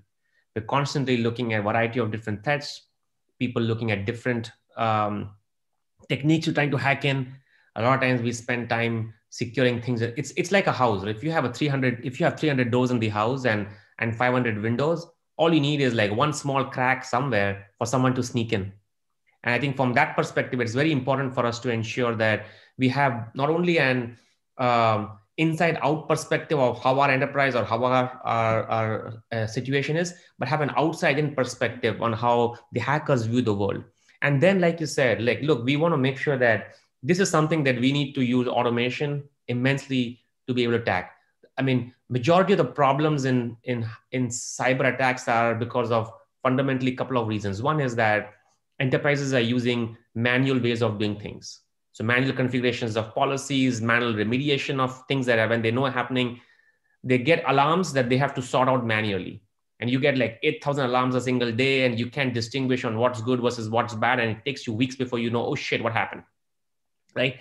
And that's where I think we can remove and and and and that's how we can help with the power of ai machine learning and automation to simplify that. Now you also want to have visibility. So yeah you can get that visibility but you want to automate as much as you can because it's it's happening at a very rapid rate as you know. Yeah absolutely. You know tools can be used for good or for bad and, and especially with the automation it helps keep pace uh, yes. with the scale of attacks not necessarily the innovation right but definitely the scale which is is kind of that fundamental challenge that, that we have. There's an interesting question coming in. Um, and the question was uh, Will quantum computing make cybersecurity technologies obsolete? And I'd love to take a first shot at this and then, and, and then hear from you. Um, you know, quantum computing is great it is great from a perspective being able to solve certain types of challenges and problems. And unfortunately, some of the problems that it can solve very, very quickly are around certain ways of encryption and authentication. And so those certain algorithms out there, which are in use, um, are potentially victim to high levels of quantum computing, right? And we're starting to see some of that. But not all algorithms um, are easily victimized by that way. There are quantum resistant algorithms. In fact, NIST and other organizations are looking and evaluating because it really just becomes an evolution which again when you have active attackers it's about evolution. And as attackers can bring in quantum computers to solve certain types of equations well we go in and re- replace those with quantum resistant ones so that yeah. they can't. It's you move left i move right. It becomes a dance. So you know uh, what are your thoughts? I, I, I completely agree with you, Matthew, and I understand there's awesome work happening with organizations like NIST to ensure we can have quantum resistant uh, algorithms, etc. But like you said, it's an evolution, right? I think we got to keep evolving, uh, making the algorithms we have more and more better every single day, and and also use different techniques. For example, when we had a lot of things around, and the world moved from HTTP to HTTPS, a lot of people said like, I'm not going to have visibility into what happens in the enterprise. And you found different techniques by looking at patterns and metadata, etc., to understand that you can still have privacy, but I can still understand what's happening from a security perspective on the enterprise. And I think that's the evolution that we will continue to have. Yeah, absolutely. Um, so there's another question before I get into it. I want your thoughts, right? Engineers tend to look at that engineering problem, the technical problem. I need to create a perfect firewall or a perfect overlay of resources or or look at data. What are your thoughts when it comes to the behavioral aspect in cybersecurity, right? Often I explain it to people that it's kind of like two sides of a coin. You've got technology on one side, you've got the behaviors of people on the other, and the process in between. You know, in your mind, how important is it for engineers to understand who's going to be using it, how it's going to be used, how you know how it's going to be administered, and, and the potential issues of behaviors undermining sometimes beautiful technology, but undermining the security of it. Yeah, I think uh, you had a very good point, Matthew. Look, I mean, behavior of the things of who the the end user is, what is the persona, what they're trying to do, what is their role, and what is their outcome is very important. And that's why I come back to the to the point I mentioned. If you if you think about it, everything that is flowing through an enterprise uh, uh, or a campus environment is flowing through security products right? How do we ensure that the bits and bytes of data on the network get converted to information? And how do we take this information and convert it to insights? And how do we take the insights and, and convert it to outcomes depending on what the persona is and what they want to drive? And how do you use that feedback loop then from the outcome to ensure that you can refine that outcome based on what you're learning from it? And that's the whole the feedback mechanism that we need to, to be. so we're constantly improvising from what we're learning, how we are fixing things, how we're remediating those things, and then watching for the next things happening. Well, it's, it's a constant, it's, it's a circle. And that circle then, does that require engineers to interface more with wetware, the people, than they have traditionally in the past? I think it, it requires the engineers to understand the outcomes a lot better. Like, what is the outcome of the end user? Who is the end user? What do they care? Why do they care? And why are they doing certain things a certain way? because then they can figure out uh, more creative solutions to solve the problem. Yeah, that that may get out of people's comfort zone, but that's a good thing. That's a good thing. We all have to adapt. I see another question coming in. I know we're running short on time here, um, so let's take this last question, then we'll hand it over and, and get back on schedule. So the question is how do you handle cyber risks coming from vendors or other third parties? So suppliers, um, partners, uh, vendors, things of that sort. That's a that's a very important question. And if you look at my uh, hot topics, the last one I talked about is the unification of networking and security. And what that means is basically you want to have people are coming and accessing resources from uh, from all all possible outcomes. So, for example, you have people in the headquarters, you have people in the branches, you have people accessing it from home, from managed endpoints, which means company provided laptops or phones. From unmanaged endpoints means I'm bringing my own, because all my applications are SaaS applications, I'm bringing my own laptop, my own phone. And then you have partners and vendors wanting to access certain applications. So you want to have, so that's the reason why it's a platform approach, right? You have all of these access technologies or access or methods of access and then you have to have a platform approach of ensuring that you can provide security across all of these because all of the users that I talked about from all the different places they're in, they're also accessing applications that are everywhere. They're no longer in one place. They can say, okay, come in, I'll check your, your passport and see if you are uh, allowed to enter inside. No, it doesn't happen that way. I'm, I'm accessing applications in data center, in cloud, multiple clouds, SaaS applications, etc., etc. So that's why you need this platform approach. And then you want the effect of network, the network effect of data, what I like to call, where you're making you're you're making the what the industry calls as patient zero attack, right? And this is known as for a while in security, where I don't like to use the word, but it's around the first person gets infected, and now I want to ensure that other people don't get infected. Our job is to ensure nobody gets infected. Like, how do you ensure that it's and, and that's where we can do it by when you get when you do things in line. The moment you have to sell something to the cloud for processing and then send signatures down, that makes it there's going to be a delay and lag. So how do you do most of what you do in line? And you have to always do some processing behind the scenes.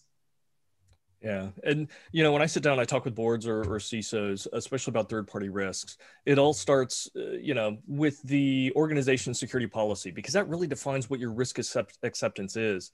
And anytime that you're sharing data with third parties, they are now part of your chain and the weakest link is is what you got to worry about so whatever your security policies and posture is for your people, your technology, and your processes, it really needs to translate over. You need to take the responsibility of working with those vendors and suppliers and partners to make sure that they take their security just as seriously as yours so that there is no weak link. And it's not easy. There's a lot of discussion about it. It's not just creating a rule uh, and it's not just a legal form. It takes a little bit more in depth to be able to make sure that your partners are with you in this journey for cybersecurity. So, yes. And I see that that we're out of time here, so I'm going to hand it back over. Thank you so much, Matthew and Anand. That was very insightful. Um, I'm going to hand it over to uh, you, Anu. Thank you, Sukrita, Anand, and Matthew. Very informative and insightful session in the need of the hour. Appreciate your work and thanks for your time.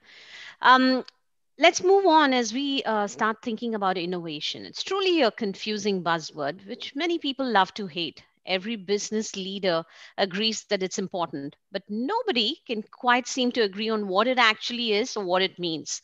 Just give you a quick test. Go to Google, type innovation in your search engine. You'll get over 300 million results thousands of definitions.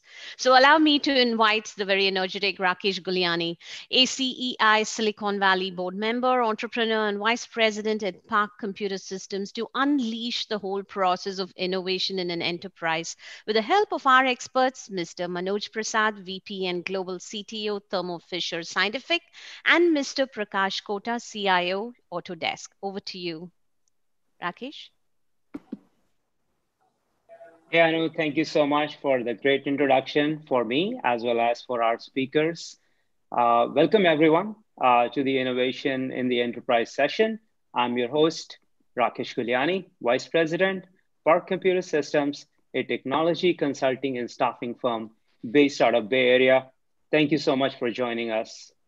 Even before the global pandemic hit us, enterprises were working hard to constantly innovate and become nimble and agile to address their users and customers' needs and were driving efforts to enable their customers and users with better tools. How has this pandemic changed the pace of innovation in enterprise technology? How is the technology evolving due to this pandemic? Today's industry leaders are designing strategies and leading innovations to improve the experience of the users, but how?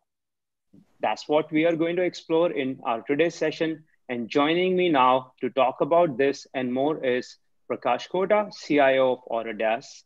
Apart from accelerating Autodesk digital transformation and customer-centric approach by providing customers and employees world-class experience, Prakash has been hosting CIO exchanges and contributing to CIO Magazine, Forbes, Wall Street CIO Journal, and CNBC about strategies on digital transformation. Hello, Prakash. Good to have you here. Good to be here, Rakesh. Thank you for having me. You're welcome. And also joining us today is Manoj Prasad. Manoj is Vice President and Global Chief Technology Officer at Thermo Fisher Scientific. Manoj has been a speaker in many technology forums and has been featured in Computer World, CTO Forum, Network World, and many other leading publications. Nice to see you, Manoj, and welcome. Thank you, Rakesh. Great to be here. Awesome. So before we dive into hearing from our speakers, we would like the audience to know that we would love to hear from you. And you can put your questions on the chat on the right side of your screen, and we will take as many questions as time permits towards the end of the session. I know it's hard to follow on what uh, Naveen Jain had to say, what Anand Oswal and Matthew's discussion, uh, but we will bring all the innovation in spotlight here with uh, Prakash and Manoj. So let's take it with Prakash at this time. Prakash, how are the companies like Autodesk managing the employees and customer demands during these tough times, and how are you leveraging technologies to meet COVID-related issues and demands? Yeah, no, thank you. I think COVID definitely hit all of us by surprise. And overnight, we had to switch globally, uh, companies had to switch globally to go remote. And for those who don't know about Autodesk, we make software so that our customers can make anything. So we are a design company. Uh, about three years back, we started a transformation uh, to move to a subscription model. When I joined the company about 15 years back, we used to ship DVDs to our customers. And uh, our software requires a predominantly desktop-based software requiring heavy GPU intensive workloads. And now we provide access to our software in the cloud. And it's no more, uh, it's no more uh, uh, giving us shipping DVDs. I would say it's all about giving access to the uh, in the cloud. And being a subscription company in this time probably is a phenomenal mode for us to be in. So I would say uh, we were able to do it without uh, losing a beat, like many other companies, uh, because we were well into our whole digital transformation. Uh, and when we say digitization, right, again, it's a buzzword, as you guys were all talking about a lot of buzzwords today. But I think from our standpoint, when we say digitization, it's all about removing friction for users, whether that be employees, customers, or partners. And so that has been a huge focus for us in the last two to three years. And that definitely helped us to really, uh, during this whole COVID situation, where we had, uh, we were able to switch overnight and our employees and customers are still being effective and productive. Yeah, that's awesome. From DVD all the way to uh, everything online, quite a transformation.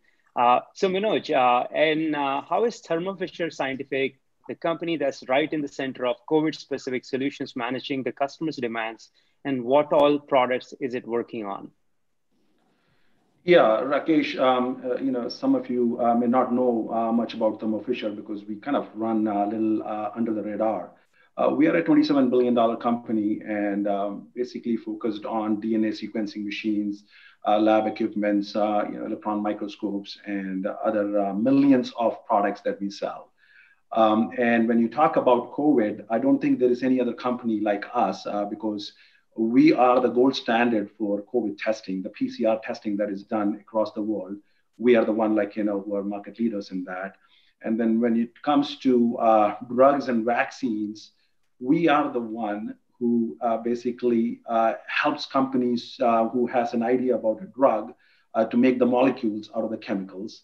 And if that molecule looks like uh, a potential um, you know, drug, then we help them uh, uh, with clinical trials. And uh, if the trials are successful, we then get involved in, um, in helping them, uh, you know, manufacture and distribute. So some of the uh, COVID-related drugs today you see in the market with other brand names is actually manufactured and distributed by us. Um, and then, like, you know, when you have vaccines, it needs cold storage. Uh, who provides the refrigerators uh, with minus 40 and minus 80 degrees? It's again Fisher, right? Um, so when you look at uh, Thermo Fisher, uh, we are involved in pretty much everything that you can talk about, including selling the PPEs, whether it is masks, the gloves, the, the sanitizers. Um, uh, so uh, you know, with all this kind of like you know being involved in, um, it becomes uh, a, a, challenging time for us, um, especially uh, with respect to the demand that we have, right? You know, what we are actually trying to do to help our customers is try to bring speed and scale. That is the two things that we really want because we've been asked overnight uh, to increase the capacity 15 to 20 times. You know, we typically used to um, have like a million um, uh, test kits, and now we have to like you know scale up to 15 to 20 million a week uh, testing. Uh, kits, right, which um, was uh, a, a, uphill task, and we had to do it uh, as fast as we could, and uh, we were able to do it successfully, uh, leveraging technology because you know um, the whole process automation, uh, the whole IoT, you know, leveraging immersive technology because we could travel. Um, and then, of course, like you know, some of the machine learning and deep learning skills that we had in house was put into place to like you know bring the speed and the scale. Um, so we still have uh, some ways to go uh, as to how we can demand, uh, how we can meet the, the bigger demand of the world to make it healthy. Uh, but we are making great progress. Awesome. So good to know about Thermo Fisher. Uh, I was definitely aware of them uh, helping with the testing kits. They were producing over 5 million in the very first month. Uh, but I wasn't aware of uh, you know Thermo Fisher helping companies with the vaccines and even now uh, taking on the responsibility of delivery because we are very familiar with Pfizer, Moderna kind of companies, uh, uh, you know, requiring uh, minus 40 degrees, 70 degrees freezers. So that's amazing to know. so moving on, you know, to Prakash, how is the technology innovation evolving due to this pandemic? I think irrespective of this pandemic or not, I think the technology evolution has definitely accelerated. Uh, it doesn't take any more uh, months or years for a technology to be adopted or to be divested. There are gone are those life cycles where we do projects for years or months with uh, uh, which takes remember those ERP implementation that used to take 18 months to 24 months gone are those days now people are expecting things over demand on demand. So when you think, so the whole notion of how do we really get things immediately and get it in the hands of consumer is so quick. So I would say the whole agile nature of how we innovate things have accelerated. And at Autodesk too, we are, we are definitely exploring a lot of things uh, uh from consumerization and digitization standpoint and definitely leveraging a lot of data to ensure that we are getting uh, in the right capabilities to the right users. Got it. How about you, Manoj? Uh, how, how is it involved in uh, the technology innovation happening at uh, Thermo Fisher uh, in your IT world, maybe?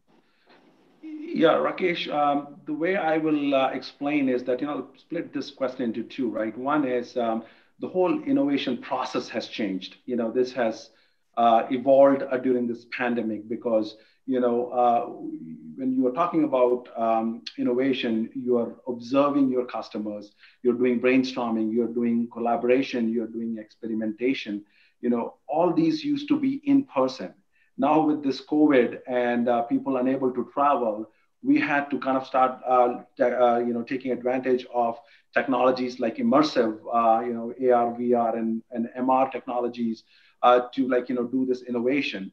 Uh, honestly, uh, you know we are yet to figure it out how well we are doing in this you know remote virtual innovation. but our intensity and scale has increased because we are in the business where we are being asked to develop new products every day. You know, every day we are um, kind of uh, coming up with new solutions.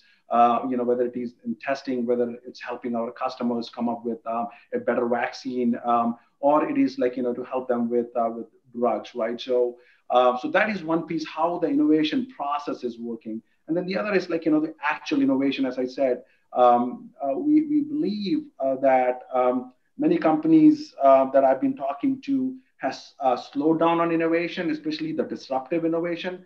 But when you look at Thermo Fisher, we have been on the other side of the equation just because of the work that we do. Um, and um, I do believe that um, you know the, the, the innovation that we are doing, especially in the in the testing space, uh, is a game changer for the world. Um, and um, you will see more and more um, uh, products coming in uh, from Thermo Fisher, and uh, we are uh, going to do this innovation. Uh, in, in, a, in, a, in, a, in a way that like you know has never been done before so we are still kind of figuring out and learning uh, but there is like, you know, definitely a lot of work that needs to be done in Thermo Fisher for sure. That's good to know. So follow up on this. Do you think has the innovation and the technology priorities changed due to, due to this pandemic uh, over at Thermo Fisher? Yes, absolutely. Look, uh, you know, the, the original plan before Corona or COVID, uh, we were looking at uh, leveraging data, we wanted to uh, you know focus on uh, uh, machine learning, um, artificial intelligence, um, and, and and deep learning. But because this COVID happened and we had to release products, we had a, a, a, instrument that was released like four months back, exactly in the middle of the pandemic, that was going to increase the testing to 8,000 per day on a single machine, right? And When we wanted to do that, um, we could not go to the customer site, install the machine, and um, uh, you know put put uh, the training and, and remote diagnostics in place. So we had to quickly move into immersive technology, and that became a priority for next uh, 12, 18 months. We believe uh, we will be really focused on that, and we have almost 40, 50 projects right now in the pipeline um, uh, to not only like you know uh, install all these instruments that we have to install globally, uh, and we're all doing this uh, leveraging Microsoft technology, uh, HoloLens. And then uh, we are using Microsoft technology guides to provide them, you know, remote training and also do the remote diagnostics when like, you know, they need help because these are all new instruments. So we're able to do all this leveraging immersive technology. And then the most important thing is that, you know, all these are validated systems. We need FDA's approval. Now, you know, because of travel restrictions, FDA is unable to travel to our site. So we had to leverage these technologies, created at POC uh, so that um, the FDA auditors can sit in their home and walk into um, you know this virtual world of our lab and audit the whole lab uh, to a point they can like you know even read um, uh, you know the barcode on a on a on a test tube so that like you know they can really look into how the whole process is working and and and validate and approve our our testing kits. Um, so innovation, uh, you know, is, is all more focused now onto immersive, which we thought would be something that we will plan in 23, 24, because there was like, you know, at least a couple of disruptions that was going to happen in immersive technology. You know, one is the 5G coming in. The other one is like, you know, companies like Apple and others are coming up with, um, you know, glasses um, with compute happening in, in, in uh, adjacent devices like cell phone, rather than having this big glasses like HoloLens where all the compute happens on the glasses. So, so there's going to be disruptions, but we have no choice but to get into this technology uh, now and uh, help our customers. Wow, that's amazing work happening at Thermo Fisher. Let's take it over to Prakash. Prakash? How is the static now? Are you guys hearing, still hearing background noise? Prakash, lot of Uh, yes, I we are actually, something to do. unfortunately. Yeah. Okay, I, I, I'm hearing it clear and uh, sound and clear, unfortunately. yeah, go ahead. Let's see how Prakash, it works. you want to call me? Uh, okay, I can call you. Uh, why don't you start, continue with Manoj? Yeah. And then I Yeah, yeah. Let's take let's take on with uh, with uh, Manoj uh, while you uh, resolve the the glitch that you are having. So Manoj, uh, has the intensity of innovation changed due to this pandemic, and um, how will this continue the innovation part uh, in the new post-COVID era? you know, um, the intensity uh, when it comes to companies like us, absolutely, it has increased many folds. Uh, but when you look at, um, you know, other companies who are kind of like, you know, struggling right now uh, uh, with, with, their businesses, uh, I, I do talk to a few of them. Uh, they have kind of slowed down to ride this pandemic so that, like, you know, uh, they, they manage their cost. Um, from from Thermo Fisher perspective, um, when I look at um, you know what is happening. Uh, we um, believe um, we are, um, you know, lo- looking at different aspects of of um, innovation. Um, you know, uh, where do we go from, um, you know, immersive into uh, machine learning or or deep learning, and how do we leverage like you know these technologies? So we have. Um, you know, to give you an example, uh, we, we have a lot of customers who are doing um, uh, stem cell research. Um, and, um, you know, part of the process is to, um, you know, get a donor and then uh, pick up the cell. And the whole process of identifying a good cell uh, that like, you know, can be replicated and then reprogrammed and engineered and then put back into the, to the patient um, uh, takes almost a year and a half. Um, you know, leveraging uh, uh, deep learning and um, you know parts of artificial intelligence process, uh, we are able to like you know do this work in hours. So you can imagine like you know the kind of innovation uh, that has impact on, on on the work that we are doing, uh, uh, which like you know changes um, the the world perspective, right? You know, so the world which is struggling with um, you know deadly diseases like cancer and others, uh, we feel like you know we will be able to speed up many of these um, uh, discoveries um, and um, you know uh, so for us um, the innovation is at the top gear and and we have to like you know just constantly um, uh, do this every day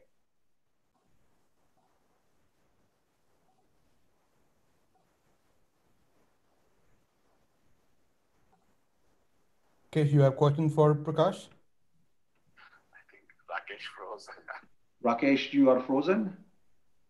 So, so. Okay, so so yeah, sorry. Uh, so you know, I think it looks like Prakash is uh, back. You know, his audio problem gone. So uh, uh, we have two minutes left. So uh, Prakash, what technology areas are you going to focus uh, in the next uh, one years? I think that there's a huge focus on leveraging AI and ML in advan- taking advantage. Again, when we talk about AI and ML, it's all about leveraging data. And how do you first understand about your customers better and leverage AI and ML to get insights and how do you convert insights to actions? I think that, I mean, we saw the previous speakers talk about it too. I think that's another thing that you'll see. So that's the other thing that you'll see uh, with leveraging of AI. Uh, how do you convert the whole data that you have and a wealth of information into insights, and how do you take that insights into actions, so that you can give that preferences, recommendations, you can consumerize the overall experience in enterprise. That will be a huge focus for us. While of course protecting uh, the customer's data and information, there is always going to be a balance of how do we consumerize their experience and at the same time maintain their enterprise security. And whatever we can use in that sense, uh, whether you call it innovation or whatever it could be, I would say continuous capability. If being a cloud company, that's something that we'll continue to focus on. Got it, got it. So uh, we are we are almost about uh, at the end of our session. I have a quick question from uh, one of uh, uh, the audience. How has Autodesk used automation as a key innovation technology to enhance its employee experience in the enterprise during this pandemic? So you have one minute, Prakash. Sorry. yeah, yeah. No, I think automation is the key. At the end of the day, if we need to hide complexity, automation is what you will need to focus on. If you need to consumerize the experience and keep it super simple, then at behind the scenes, you need to really focus on a lot of automation. And that's exactly what we have done over time. And uh, from onboarding to giving access to the right people at the right time, and not needing to log in for several of the applications over a VPN, but you definitely have multi-factor authentication. So you know that we are secure and you can log in from any of your devices from wherever you are. I think we were able to tap into all of those things with our investment on what we did and uh, putting a lot of focus on automation and anything repetitive we have a huge focus on removing all of those repetitive tasks, leveraging bots, AI, RPA, and whatnot. So I would say automation continues to be a huge focus for us. And uh, we Okay. continue to see a lot of benefit, and that's an ongoing journey. Got it. Thank you for that. Today, we heard from our very distinguished guests, one coming from a leading global software company and the other one from a global life sciences company right in midst of COVID uh, solutions. Two very different industries, but tackling very similar problems in very innovative ways. Manoj and Prakash, thank you so very much for your time and insights today. And with that, I hand this back to you, Anu. Thank you so much, gentlemen, for the wealth of information. Appreciate all your time and all your efforts in your fields. You know, as a child, we all looked at the sky and beyond and asked innumerable amount of questions, right? To the point as to whose face is on the moon, right? Convincingly, we get an- answers like it's an old lady. And then they don't stop there because they further say that it's an old lady spinning thread on her spinning wheel. well, there starts our curiosity and flash forward to the present.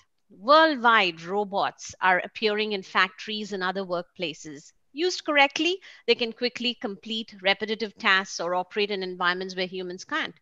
But robots aren't just found here on Earth, they're also essential for the exploration of space. So, quick trivia for all you intelligent folks. Let's see who gets this. Um, what is the first humanoid robot called? And when was it in space? It was NASA's government invention of the year. All right. Please welcome our session host, Santosh Ankola, ASEI Silicon Valley board member and head of product at uh, TechCrunch and Engadget, who will be joined by remarkable robotics and space scientist, Dr. Sreeja Nag of NASA, Bay Area Environmental Research Institute, BERI, and Nuro AI. Santosh, the screen is all yours. Thank you, Anu. Our next session is personally my most uh, exciting session it's on robotics and space, on the current trends and future. So in this session, we'll explore uh, what's in store for humans in the aerospace and robotics industry. We are privileged to have our distinguished speaker, Dr. Sreeja Nag. Welcome, Dr. Sreeja Nag. Dr. Sreeja Nag um, is a senior research scientist at NASA Ames Research Center, uh, which is contracted by Bear Institute, where she serves as the PI on D-Shield, and D-Shield is a distributed spacecraft with heuristic intelligence to enable logistical decisions. She also leads autonomous systems engineering at Nuro, a Silicon Valley startup that is building and deploying what could be the first self-driving robotic fleet on public roads. Nuro is already a unicorn company and recently received a 500 million funding. Uh, Sreeja completed her PhD in space systems engineering from the Department of Aeronautics and Astronautics at MIT, Cambridge. Her research interests include um, distributed space systems, space robotics for Earth observation, space traffic management, and vehicular robotics validation. A warm welcome, Dr. Nag, and over to you. Thank you, Santosh, for the very generous introduction. I hope you can hear and see me, and I will try to share my slides so that I can show some pretty pictures along with uh, my talk. We can hear and see you. Awesome.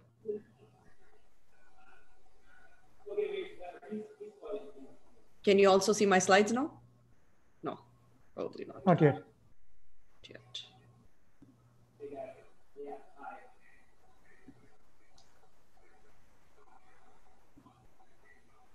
Now? We can yes. see your screen now. Yep. Great. Thank you. So, uh, so Santosh already uh, explained my formal introduction. Um, I have uh, the privilege of being a part of two great uh, institutions, uh, both NASA Ames Research Center and uh, Nuro AI, which also happen to be about 10 minutes driving distance from each other. Um, I get to be a part of research and development adventures, not just in the government, but also um, actual state scale deployments in, in the industry. Um, so a bit about myself and how I got here. Um, I finished up my undergraduate studies back in India in IIT Kharagpur, uh, came straight to Cambridge, Massachusetts in 2009, uh, where I finished up my dual master's and a PhD at MIT and um, flew to the Bay Area in the summer of 2014, and I've been here ever since. Um, over the course of the 13-ish years uh, in the US, uh, I've been uh, a part of uh, three NASA centers, starting with JPL and then Goddard on the on the East Coast and now uh, Ames Research Center. I've also spent a couple of months in the European Space Agency where I was an international fellow and a few years consulting with two space startups here in the Bay Area called Swarm Technologies and Spire. Uh, so today I'll try to draw some parallels between robotics applications and challenges on the Earth and in space. So um, a little known fact about, about space missions is that uh, every space mission we've ever done is some level of robotics. To understand what that means, let's look at the full stack of a robot first. And the first module is localization, uh, where the robot tries to understand where am I? Uh, the second is perception, where the robot tries to understand what else is around me and what are they doing. Uh, the third is once they know that, they try to predict what these other agents around themselves are doing.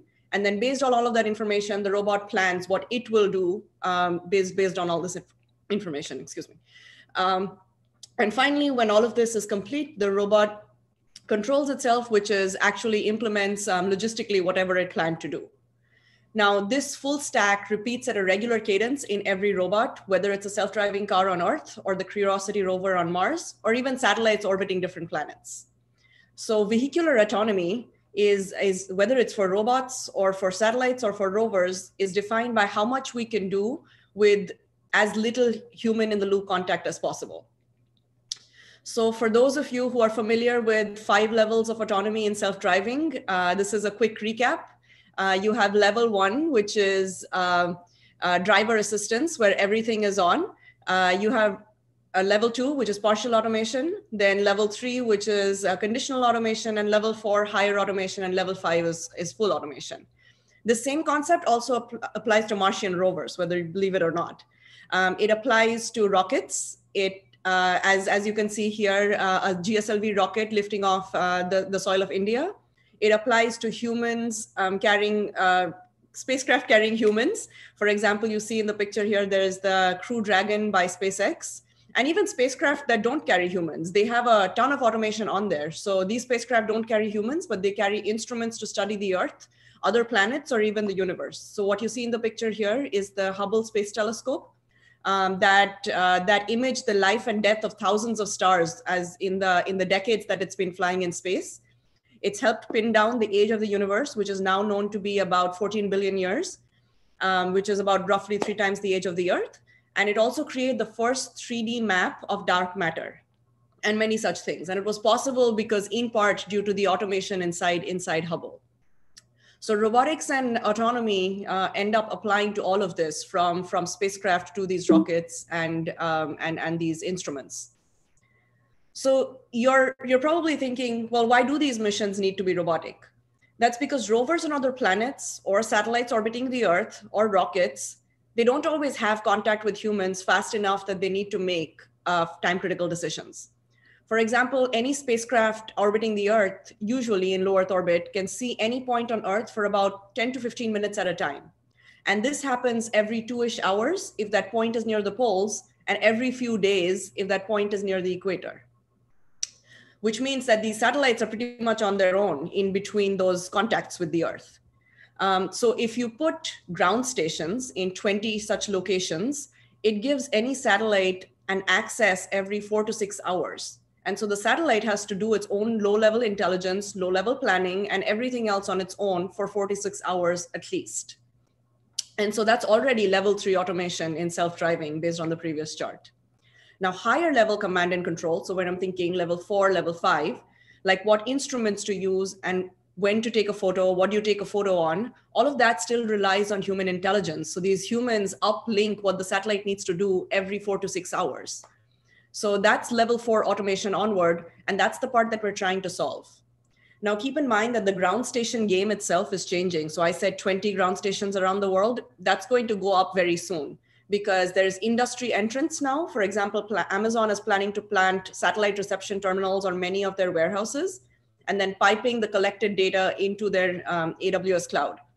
But that's a long way to go before four to six hours begins to become minutes. And by that time, using all of those humans to support those ground stations themselves may not be very efficient. So we have to go the autonomous route anyway. So increasing levels of automation from level four upward on rovers or satellites is harder than it is on Earth because space is extremely resource constrained. Um, and the way I like to think about the five parameters that constrain resources are C3PO for the Star Wars fans out there. Um, so C3PO stands for constraints in communication, power, pointing, propulsion, and operations. So I already told you about the communication problem that humans get to talk to spacecraft anything between six hours to many days. Uh, the other big constraint is the compute power. Now, power on, in the spacecraft is obtained from batteries charged by the sun using solar panels. And this is a problem because if the satellite is orbiting the Earth every couple of hours, there's a charge and discharge cycle every couple of hours. And this impacts the lifetime of the battery. So we have to carry spares for redundancy. And you know that launch to space is extremely expensive. To adding mass is, is not a good thing. And so we're very power constrained. Moreover, computer boards in space um, have to be radiation hardened so that cosmic rays and other solar particles that hit it don't cause bit flips or you know even worse a breakdown. So um, it's hard enough flying a computer in space that's able to do the AI. And just like we have interconnected cars on Earth, we also want to have networked AI across many satellites in space. But this itself is also very hard to uh, implement because of onboard resources. Um, power constrained. We have uh, enough energy in most satellites only to power a 50 watt bulb, which is less than the amount of light we get in our bathroom. and enough memory to run like a Nokia old phone from 2005. Think about iPhone X having 15 times more compute power than that. And that's what we got to use in space to, to do all of the stuff that I was talking about. There's other problems like dynamics or pointing. Um, so to stabilize the system in, in space, we need, uh, we need to be able to be very stable in microgravity. Um, and then, uh, or free fall, not really microgravity. Um, and there's a lot of co private companies working on this. Propulsion and operations is all about rockets and mission operations, which you all have seen much more in the media, problems that are being currently addressed by PSLV launches in India, SpaceX in the US, and so on. Um, so I talked a lot about the constraints and the costs. So let's talk a little bit about the benefits of robotics in space. Better robotics improves our ability to manufacture in space rather than haul these fully made systems on really large rockets. So we can mine resources on the moon, asteroids, or maybe even other planets by utilizing resources available there instead of taking everything from Earth. And this is called ISRU or in situ resource utilization. Uh, NASA started the process many, many years ago, and private players like the Moon Express here in the Bay Area have been pushing those boundaries for a decade now. Um, better robotics also improves inspection and servicing of existing satellites so that we can fix faulty satellites instead of having to fly a whole brand new one to space. So a little known fact, the Hubble Space Telescope that I talked about earlier that uh, pinned down the age of the universe, it had a faulty lens when we first flew it. So it couldn't take photos as needed. And it would have been a waste of a billion dollars of taxpayer funds um, unless it was fixed.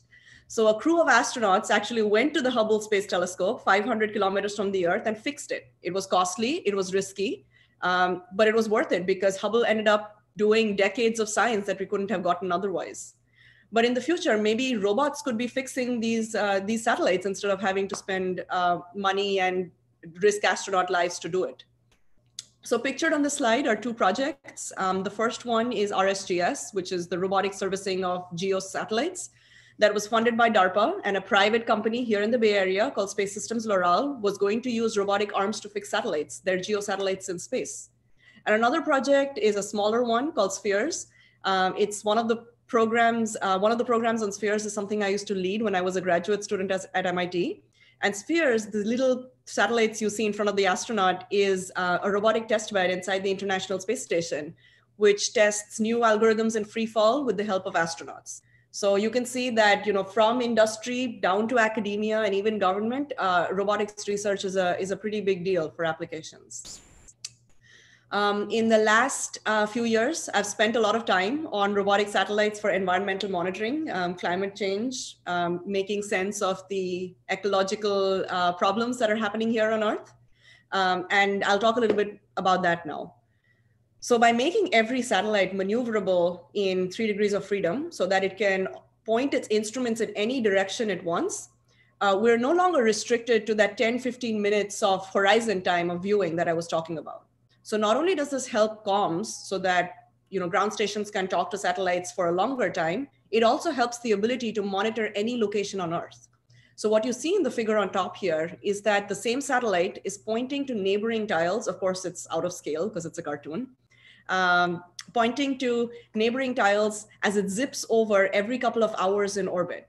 So it's able to do that because it can point completely autonomously. And um, you can do even better as you have more than one satellite in space. Um, and in the second figure, what you see is that you can improve such robotics even more by putting intersatellite links on board. So the satellites can then talk to each other. Now, keep in mind, this is not easy to do. And I said before C3PO, communication is one of the bottlenecks of you know, robotics in space. This is not easy to do because these satellites can be thousands or even tens of thousands of kilometers apart. So power beaming and pointing is a big challenge. But intersatellite links like the cartoon you see here has been demonstrated with lasers in the past by NASA and now private players like BridgeSat in Boston. Um, and these technologies help many applications because it enables the satellites to monitor environments like floods, soil moisture, wildfires, clouds, vegetation, you name it, uh, depending on what instrument you want to fly. Now, outside of compute and comms and you know the rest of C3PO, environmental monitoring presents another whole new challenge to space architecture, which aren't so bad here on Earth, but are pretty bad uh, up in space. First, the contact map between the satellites is very dynamic. which means which satellite can see which ground point and which other satellite at any given point of time is constantly changing.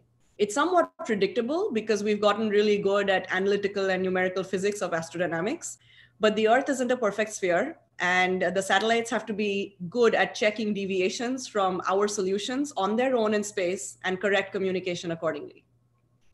Next, there's a trade-off in um, um, between seeing better and seeing more. So we call this uh, resolution versus coverage. And you've seen this in your cameras very often because wide angle gives you coarser pixels, but you get to see more. So you have to pick your zoom accordingly. So in space two, pointing far away helps monitor better, but at the cost of image quality. Um, the third thing is that satellites also optimize for instruments that they use for various applications. For example, measuring methane is very different uh, than measuring rain. So methane uh, measuring needs a 50 kilogram radar instrument. Rain needs uh, a different type of radar instrument. Monitoring fires need a different type of infrared or thermal instrument um, different wavelengths, different requirements. And so we have to really think about what we want to do before we design, develop, and fly that instrument. And moreover, even the space-time requirements for every application is different. So if you want to monitor monthly deforestation in tropical rainforests, we need satellites that can see all these rainforests at least once a month uh, with instruments that can zoom into these tree patches. If you want to monitor greenhouse gases, then you want uh, satellites to be able to zoom closer to factories at night and, and things like that. So very different instruments depending on what the, the focus is. Okay, so lots of smart satellites in space are great, but they also cause a lot of traffic and may have accidents. Um, and it's not easy to clean up um, the space uh, around us like it is to clean up the roads on Earth. Uh, so any debris created by accidents stays in space forever. And this has happened a couple of times in the past and it hasn't looked pretty. So right now, we not only have around 2,000 active satellites, we also have more than 20,000 pieces of debris in space that's dead junk floating around in space. And these pose a collision hazard to these existing satellites. And if you're following the news on um, these mega constellations that are soon going to come online by SpaceX or Amazon or other new players, this problem is going to just get worse. And so just like managing traffic uh, on the road or in the air, we've started a project called Space Traffic Management, which is managing traffic in space. And I won't go into this in much detail, but in the past couple of years at NASA Ames, we've built a prototype for an STM system, a space traffic management system, using microservices architecture to level the playing field so that more private players can enter this industry, which I believe will enormously increase as space traffic continues to increase. So on the robotic side, we will continue to solve these challenges uh, as, the, as each part of the stack that I talked about and the full system. Um, localization is addressed by what we call space situational awareness research, better GPS, better algorithms to estimate where we are and what we're doing, um, better ground-based radar and optical radar to, um, and optical sensors, sorry, to track uh, satellites in space, um, and a number of commercial players in this module alone, localization and space situational awareness has exploded. For example, Leo Labs, that's here in the Bay Area, um, as of last week, secured a really great long-term contract with the government uh, to do many of the actions that earlier JSPOC or the Department of Defense used to do. Next is perception addressed by leaps in observations and image processing, making inferences using better AI, better neural networks. And perception software is, of course, like I said, a a function of the application and what instrument you fly. So whether it's agriculture or floods, your instrument will have to change and so will your perception software algorithms. Uh, prediction is actually even more sensitive to applications and we are developing different technologies to predict hurricanes um, and, and floods so that we can plan better. Planning algorithms are fairly importable from self-driving cars, so you can hear the usual suspects for optimal planning for um, cars and R&D spheres in, in our labs is the same. Um, and then finally, uh, there is controls, which is to make these satellites uh, do what they uh, they should be doing and, and point in the right direction, their instruments. And so this is a little cartoon that one of my students made, uh, which uh, in Berkeley, and he's, he's developing optimal trajectories of doing what we're planning to do. Oops, sorry, I'm trying to get out of the slide. All right. So in summary, um, so NASA funds and furthers uh, a lot of ventures in four major areas: exploration to go where no woman or man has gone before; science to understand our planet, um, the rest of the solar system, and the universe better; technology developments that uh, eventually spin out into private industries and end up impacting things that are way uh, different from space. And of course, education through internships and other ways to get students involved in our programs. And, and of course, robotics has a role in each of them, but if you're interested in beyond robotics as well, there's plenty out there. So with that, I will end my presentation. And if you have questions, I'll take them now or feel free to email me. Thank you, Dr. Sreeja. That was super insightful. Um, I do have a few questions. I guess we have just a couple more minutes, but I just want to ask a couple of questions. Um, so, so with with resource mining in other planets, with robots going into you know Mars or Moon, uh, do you think it'll destabilize the delicate balance of our solar system, like the way deforestation has done for global warming? Um, and do we need to worry? And also the other part to that is we already seen so many debris uh, floating around, as you mentioned. Uh, has anyone tried to solve the issue of cleaning up the debris? You know, we've been talking about how to navigate the debris, but not really solving it. Yeah, those are two great questions. So I'll take the first one. Um, I think we as a species have uh, inherent responsibility to protect our planet and the space around us. And over the last uh, 30 years or so, there have been many um, treaties that have been signed between countries like the Outer Space Treaty and so on, uh, which have the countries that are flying things in space to agree on the basic principles of cleaning up after themselves and not doing anything that might harm space irrevocably. And most countries try to keep uh, keep up with those uh, collaborations and, and things that they've signed the treaty on. And so if they were to explore space in a peaceful and a more collaborative and a non-harmful way, I think we can learn more than we can harm. Uh, there's things in place, it's just up to us to follow those rules. And the second question uh, about cleaning up, I have seen several very, very creative concepts of using large nets, of using torpedoes, uh, and a lot of R&D concepts in order to clean up these debris. But I also want to point out that these are all post facto cleanup. If we can make sure that we responsibly launch and keep track of our space assets so that we don't cause this, uh, its uh, prevention is much better than the cure. And the cure not only is expensive, it may not, it, it may be impossible as these uh, debris scale up. Great, thank you. One last question. Uh, we've been talking about Mars uh, quite often lately. I mean, it's on Netflix. People talk about it what do you think is after Mars? Like we we never talk what's next after Mars. Once we colonize Mars, what is what is next? Um, interestingly, after Mars, I think the focus of scientists at NASA have been some of these asteroids. Uh, not so much to inhabit them, but to go check out what's out there and and understand the composition of asteroids so that we can um, either use their resources or maybe even bring some of it back to Earth. Um, I think the other part of exploring asteroids is to understand how they behave so that if something were to come closer to Earth, could we protect our home planet better? Uh, so in terms of exploration, I think it's going to be Moon, Mars, and then asteroids, and then who knows what's after that. Thank you. Well, uh, I want to ask one other question, which is just personal question. Do you think there is life outside of uh, Earth? That's a great question, and uh, I would say why not?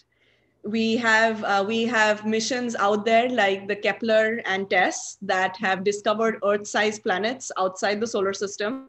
Uh, which means that the, the gravity and the hydrodynamic stability of those planets is similar to Earth. We've also seen the atmospheric composition of those planets, which are capable of supporting life um, in terms of the spectral signatures we see. Uh, so at this point, it's just getting more and more data from such planets so that we increase our confidence in these planets to support something similar to very early life on Earth before we can send missions towards them to, to understand them better. So I, I don't see why not unless we have evidence to prove otherwise. Yeah, true. All right, I think we're out of time. Uh, and thank you so much, Dr. Sreeja Nag. It was a pleasure having you. And I'll turn it back to uh, Anu. All right, thank you. Thank you, Santosh. And thank you, uh, Dr. Nag, for those splendid nuggets. You know, when people come and tell me that, you know, hey, Anu, don't try this. This is not, you know, I mean, try this. It's not rocket science. Now I know what truly rocket science is. And, and uh, fantastic work. Very proud of your accomplishments. And we wish you the very, very best. Thank you for your time. Thank you so much for having me. Thank you. All right. So the moment you've all been waiting for, all you engineers are doing a fabulous job by being the building blocks of an innovative and enriching future filled with beautiful technologies, creating, building, modeling, designing, executing ideas that actually benefit mankind. I would like to welcome Dr. Thomas Abraham, ASEI National Board Member and Chairman of the ASEI Awards Committee, to host the awards segment celebrating the outstanding achievements in the engineering and technology of those who have contributed to the society at large and to the ASEI organization. Dr. Abraham, the screen is all Thank yours. You. Thank you, Anu. Good afternoon, everyone. I also uh, have another hat uh, wear that is I'm the chairman of the global organization of people of Indian origin, GOPIO. Hope you all had a good time, especially the conference sessions, and uh, you have benefited from it. And I wanted to uh, compliment and congratulate all the team members who did a fantastic job putting together a great uh, conference. So, friends, we are in the finale session of this 33rd annual ASEI convention. Uh, that is award ceremony to recognize those who are outstanding achievers among our engineers, uh, engineering community, and those who serve and contributed to ASEI.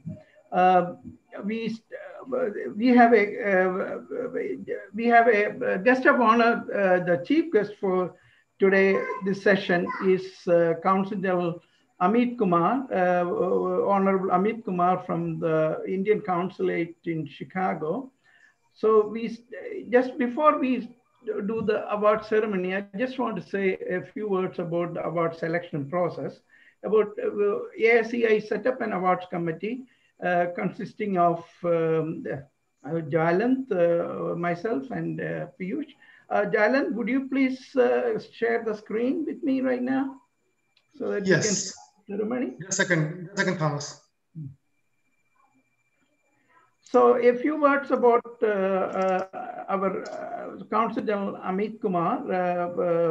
he has joined the Indian Foreign Service in 1995 um, and, and was with the Ministry of External Affairs and served several missions abroad, including Beijing, Tokyo, and also the permanent mission in New York. And before joining as a Consul General, he was a deputy uh, chief of the mission in Washington, D.C. Um, so uh, I, at this point, I request uh, Amitji, would you please unmute and uh, have your video started? I request uh, our chief guest, Amitji, to say a few words. Amitji? Yep, uh, thank you, Dr. Abraham, for those words of introduction. Uh, Mr. Jwalant Lakhia, President of ASEI. I'm delighted to be present here at this final session of the annual convention of the American Society of Engineers of Indian Origin uh, and address this distinguished gathering. It is exciting for me for many reasons. Uh, first and foremost, it is a privilege to be in company of peoples who are dreamers and doers not only you all are engaged in cutting edge technologies and innovations across different engineering disciplines, you have brought about change that has made an actual difference in our lives for the better. Secondly, you have all stayed connected to your roots, your home country, India, while branching out high and far. You all are an important bridge between our two great countries. Lastly, on a personal note, as a third generation engineer, advances in engineering, science, and technology remain close to heart the prospects for leveraging them for public good and development challenges are enormous. Friends, let me briefly outline our priorities for the India-US relations in the days ahead. I will put them in five main categories. One is, of course, strategic. Two is COVID-related and more broadly, pharma, healthcare, vaccine development, etc. Third is the ICT digital startup space, which will both disrupt and transform our lives. Fourth is climate change, environment, renewable energy, especially solar. And last but not the least, education, research, and innovation.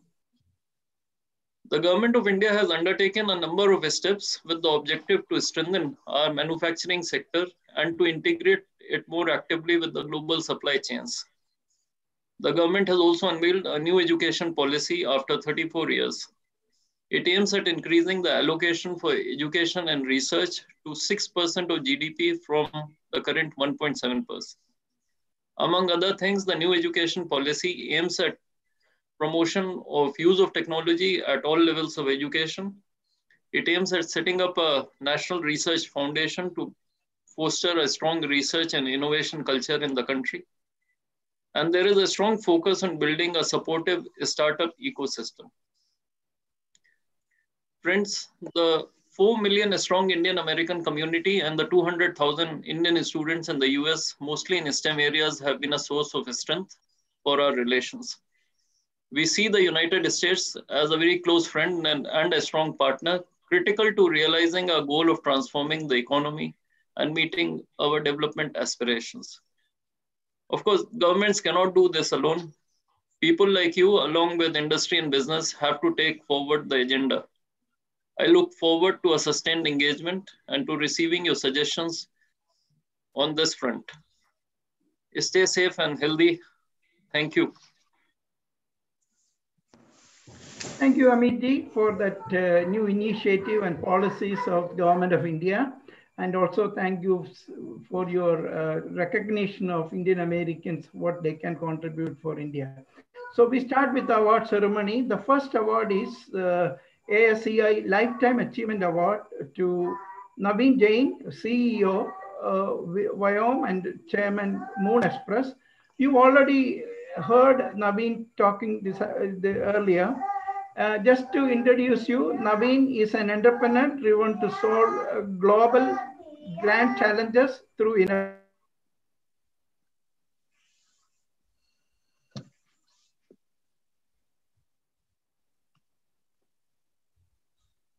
We can't hear you, Dr. Thomas. I think he's muted. There was background noise from your end, so that's sorry, right. Sorry about that. Um, he can, I will, I will, uh, the, Moon Express is the only company in the world to have the permission to leave Earth to land on the moon to harvest planetary resources. Viome is focused on dis disrupting healthcare with the goal of making illness effective by identifying microbial biomarkers that are predictive for chronic diseases and and to adjust microbial imbalance through personalized nutrition. Naveen Jain has been awarded many honors for his entrepreneurial successes. ASA is pleased to bestow this highest award, Lifetime Achievement Award to Naveen Jain.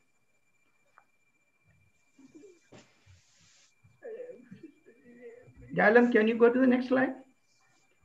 uh, CG, uh, Consul General Amit can you read it so that it becomes the official presentation?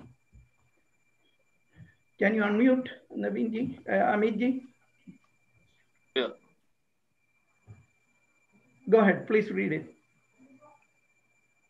The American Society of Engineers of Indian origin at its 33rd annual national convention on December 5 and 6, 2020 presents the ASEI Lifetime Achievement Award to Mr. Naveen Jain, CEO of Viome and Chairman Moon Express.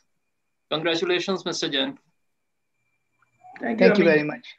Uh, we will press, we will send this award to you by mail, but may uh, I'm sure you would like to say a couple of minutes. Naveen, go ahead.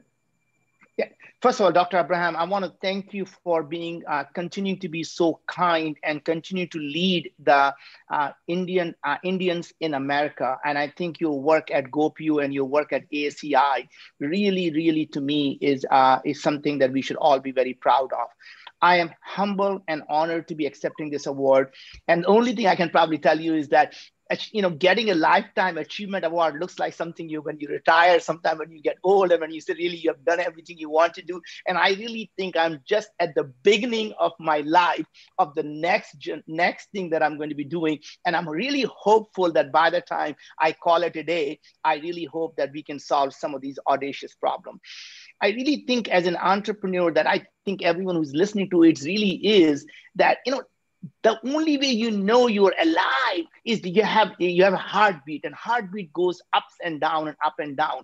And you don't ever want to live a life which is a smooth life. And you know when your heartbeat goes smooth you're dead. So you never want to live a dead life. Live a life of adventure that goes up and down. And just know when you're at the bottom of that heartbeat all you have to do is hunker down and know that the next beat is going to be up and always remember when you're on top of that beat, never to get too cocky because the winter is coming and winter shall come, right? So just all I can tell you is I'm humble and honored. Dr. Abraham, it's an amazing honor and I cherish it. And I really hope every entrepreneur out there know that it's up to us to be able to solve problem, not just identify problem.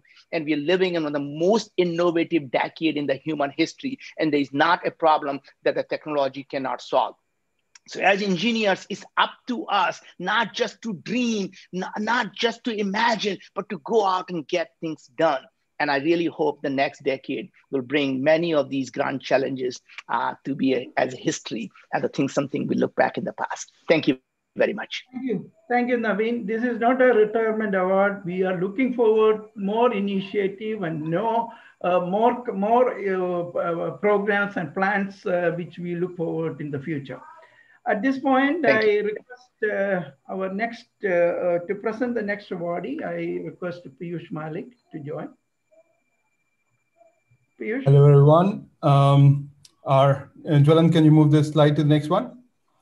All right. Uh, can we have Jyoti Bansal on the camera, please, uh, after me? Uh, our ASEI Engineering Entrepreneur of the Year award goes to serial tech entrepreneur Jyoti Bansal. He's the founder of AppDynamics, Harness Traceable Unusual Ventures, and he is a Silicon Valley technology visionary. He believes passionately in changing the world for better and uh, through software. And in 2008, he founded AppDynamics, uh, an application intelligence company that provides enterprises with real-time insights into application performance.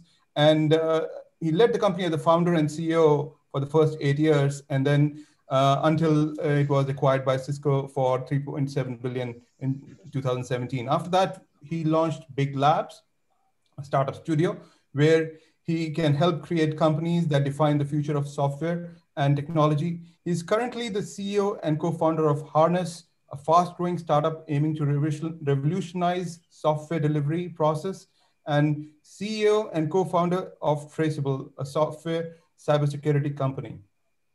And, um, and now he has uh, founded Unusual Ventures, uh, 400 million venture capital fund focused on helping early stage technology entrepreneurs.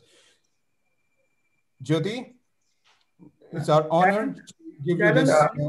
Uh, can you, okay, Piyush, go ahead and read the. All right. That's so.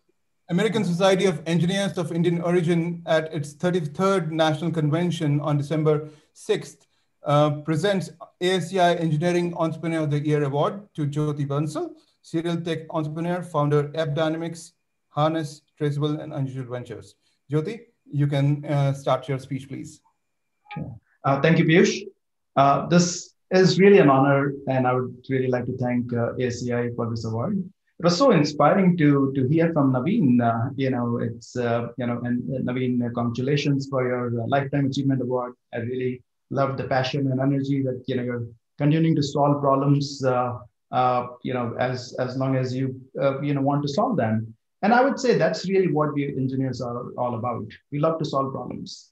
And you know, I to me, you know, I really, really believe, you know, as a software engineer, that software has such a strong ability to redefine the world in so many ways. And you know, as, as, as engineers, we can go and create solutions to bigger and bigger problems. And if you look at hard times like these, like 2020 with the pandemic and what's happening in the world and society, it's even more important for us as engineers to, to find interesting problems that, that we are passionate about, that we think uh, can move the world, move the society forward and, and solve them. So, you know, I, am I'm, I'm really honored and really, uh, you know, thankful for, for, for this award today.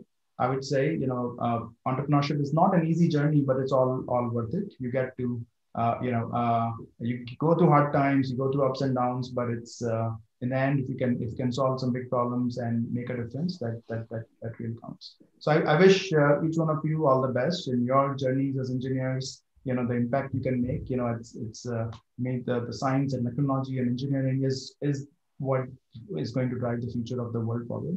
And I'm, I'm very very thankful and uh, and honored to uh, to receive this award today.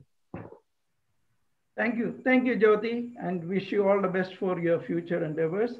At this point, I invite uh, ASEI President Jwalant Lakhia to present the next awardee. Jwalant?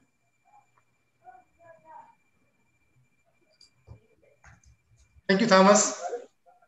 It is my privilege uh, to present the next award. It's the ASEI Engineer of the Year Award in the fields of mechanical and solar energy to Professor D.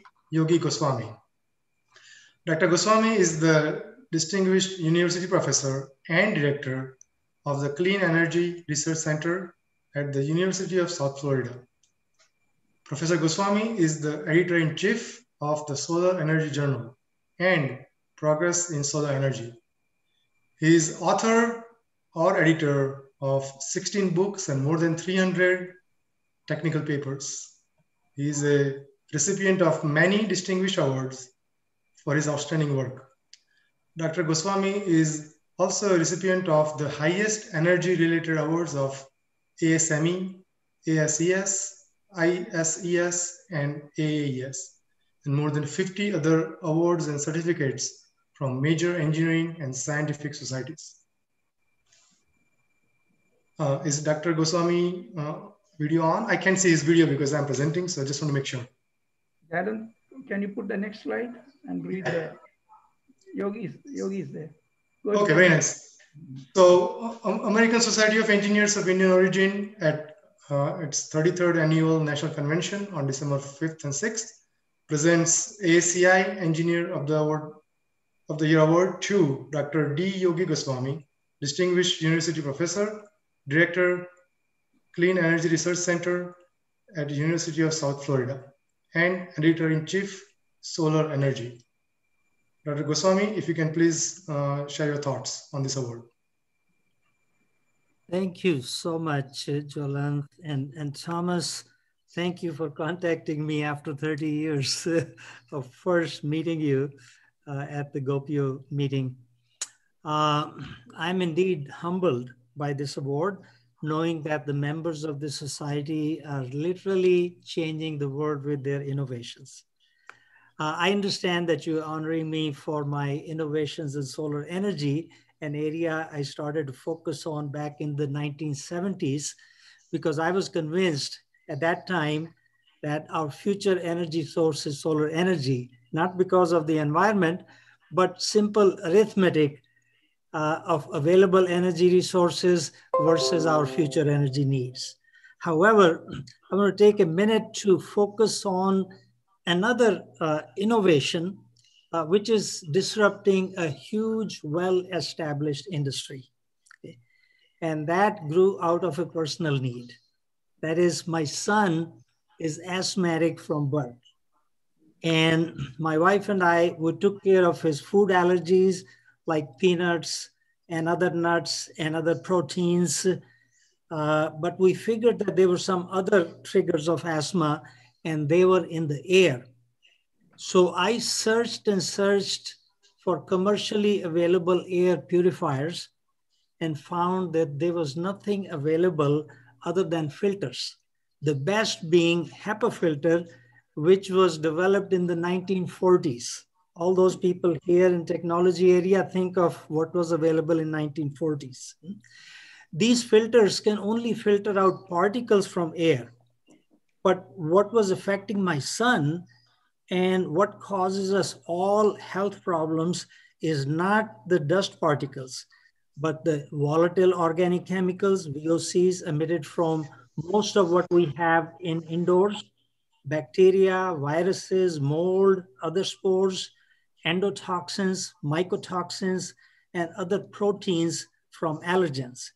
So I needed a whole new technology to take care of these things, which by the way, came out of a solar technology I had developed back in 1990, photoelectrochemical oxidation or PECO. So this technology helped my son, Dilip, and my daughter, Jaya, and they have brought it to the world as Molekule, Molekule with a K. Hmm?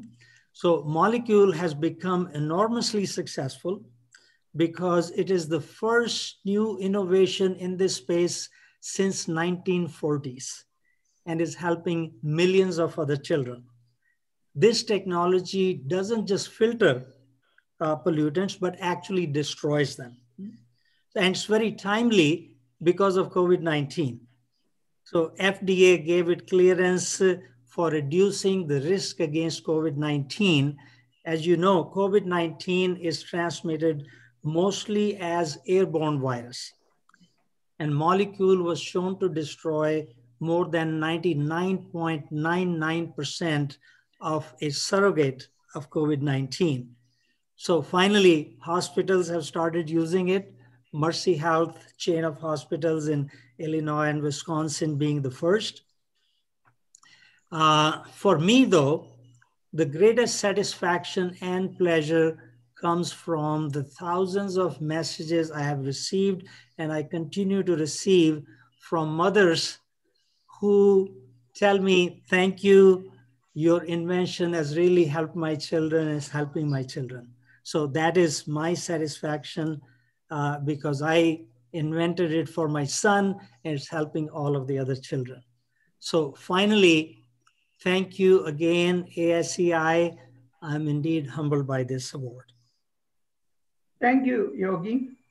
Um, ladies and gentlemen, um, ASEI is proud to present the next Engineer of the Year award in Product Engineering and Operations Management.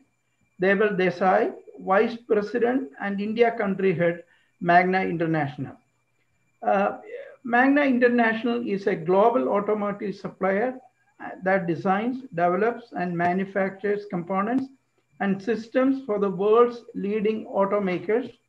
In this position, Desai is responsible for digital marketing, strategic, strategic business development, and continued expansion in India, and serve as one of the senior representatives of for Magna in India. Yesterday we heard will. Now, may I have the next slide? Um, uh, ASEI 33rd annual convention, uh, December 5 to 6, 2020, ASI Engineer, ASEI Engineer of the Year Award presented to Deval Desai, Vice President and India Country Head, Magna International. Deval? Thank you very much, Dr. Abraham. I'm truly honored to receive this award and really for being part of uh, ASEI for the past several years. And I'm, I'm really excited that, you know, ASEI is taking this initiative and really having been an engineer as part of my education, as well as major part of my career before I moved to business and operations, I can really say that, you know, an engineering uh, uh, uh, portion of your career is a very pragmatic one. Know, as they say, you know, to, to an optimist, the glass is half full. Uh, to a pessimist, the glass is half empty. And to an engineer, the glass is twice as big as it needs to be. And I can still tell you, even after 25 years after having designed the last headlamp for a car, I still look at a new car and try to figure out what kind of technology it does have. So I think it's it's it's a fantastic event. Uh, thank you to the entire ASEI team uh, uh, for really uh, having a successful session this year, and to uh, Naveen and Jyoti for uh, their contributions as well, and to the award recipients and to Mr. Kumar for really taking the time after a busy schedule to uh, join us today. I think India has made a played a major role in science and tech uh, of today, and and I think these are going to continue as COVID has really changed the scale and the speed at which innovation is going to happen. So Um, thank you, everybody, and I appreciate and uh, I'm honored for receiving the award. Thank you. Thank you, Deva. The last several years, about six years, we have had an award called ASEI Founders Award. Unfortunately, Harry Bindal, who is the who established this award, passed away about three weeks back. So I have a special person uh, to present and talk about Harry Bindal's contribution to ASEI. I introduce Dr. Neeraj Bindal, optometric with the private practice in Arlington, Virginia and Washington, D.C., son of ASEI founder, the late Dr. Harry Bindal, to present the next awardee. Neeraj? Thank, thank you so much. For, for a few minutes. Neeraj, go ahead. I hope you can hear me uh, okay. So um, thank you so much for giving me the time and uh, to be able to present a little tribute to my uh, dad. So thank you ASEI board, the members and uh, friends. Um, just a few words I'd like to say about him. Uh, uh, my dad, Harry Bindal, was a young 76. He would have turned 77 actually yesterday. And I say young purposefully because he was full of life and still had his hands full and then some. His story, as he puts it, is truly inspirational and a rags to riches story. He was born in a small village in Agra with limited water, electricity, and no local schools. His passion for education was paramount. As I remember my father telling me that he had to walk miles to go to school and use the streetlights to study under. He was always the first in academics. By the time he was 27, he was married, had my sister and I, and moved to the land, moved to the land of opportunity uh, with just a few dollars in his pockets. He moved during the recession in the 70s during the oil embargo. Uh, jobs were very little to none. A good friend of his invited him to West Virginia and helped him secure his very first job. I think it paid all of $13,000 after finding a job, my sister and I came to the US, and I remember him working very hard and taking evening classes, and uh, and you know, and still making time for us. And I'll never remember my sister and I asking for things, um, but he was very interested. He got us a bike, even a Christmas tree. You know, we went out and took professional photo uh, portraits, family portraits that we have in our living room now, and. Uh, you know, and I don't think that we lacked anything. Maybe just, you know, we didn't ask for anything and we didn't lack anything. Uh, um, he took us, you know, skiing and camping and road trips. Um, he had an interest in everything. Um, and had he not, you know, we probably would have missed out on many great experience and memories. As new and better job opportunities became available, you know, it was time to pack and move. He definitely wasn't afraid of change moved to Kentucky and Michigan and Florida, and then finally the city that he had always wanted to be living in in quite some time, DC. He's worked for private companies and cities and states and federal governments, the US Air Force, uh, Coast Guard. In 1983, he founded, as you know, the ASEI, the American Society of Engineers from India. Um, his pride and joy now, almost 40 years later now, there are hundreds of members and chapters across the country sharing ideas and technology and providing scholarships and awards to individuals of excellence. Um, in 1990, I remember my dad helped me make my first feature film, Akanksha. He was an executive producer, and just you know, just another thing that I learned in his book that he was very, very proud of. he is a poet, a writer, and his work can be found in his self-published books, alongside his autobiography that incorporates his goods and bads and many of his typos. I learned more about him through his book than I would have otherwise. He worked on the Ganges sanitation project and founding ASEI earned him the, uh, the Pravasi Bharat, uh, not the, uh, uh the Samman Award in 2017 from the President of India. And then in 2018, he also received the Pravasi UP Ratna Award from the Governor of UP. He's a proud Hindu, a supporter of the Hindu American Foundation, the Vishwa Hindu Parishad of America, just members of numerous communities and participants at the Indian Embassy events. You know, as uh, you know, it was counting and uh, some of the stuff that he wrote in his book. As of 2015, You know, he has a bachelor's, two masters, 47 awards, 105 certificates, five technical papers, seven professional memberships, five publications, three film scripts. He served on 12 community service organizations and five public service communities. And he had the opportunity to travel over 40 countries on five continents. He was truly selfless. He spoke honestly and practical, especially when it came to money. Um, that reminds me of a story that my dad and I had, uh, you know, not too long ago, just a few months ago. Um, and, you know, he'd rather save a dollar on himself uh, so he can do better for others. Um, he was talking about making a trip to India, and I told him to make sure he buys at least a business class uh, because of his health reasons, that so he can keep his feet up. And he said, "Why should I do that? I can buy a coach class for one thousand, and a business class is four thousand. You know, for the three thousand dollars that he can save, he can donate that money instead. And that's exactly what he does. For the last 20 years, he has been giving back to his birthplace in India.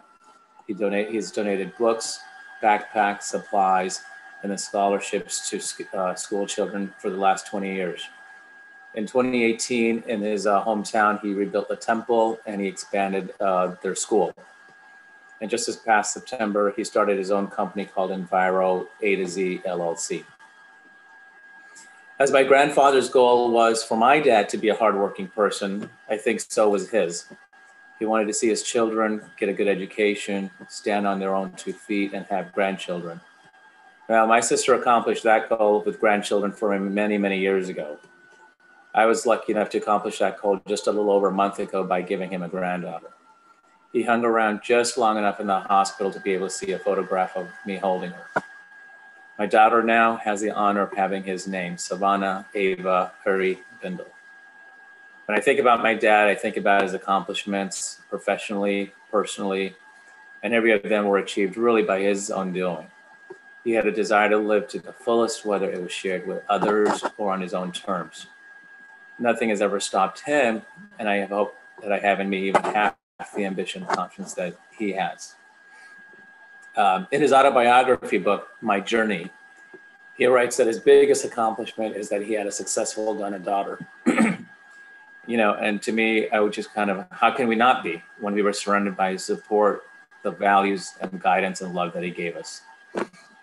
So I thank you for making it so easy by writing about your life, your journey, and all in one place for me so I can keep you close to my heart, remember you, uh, understand you, and pass you down for generations to come.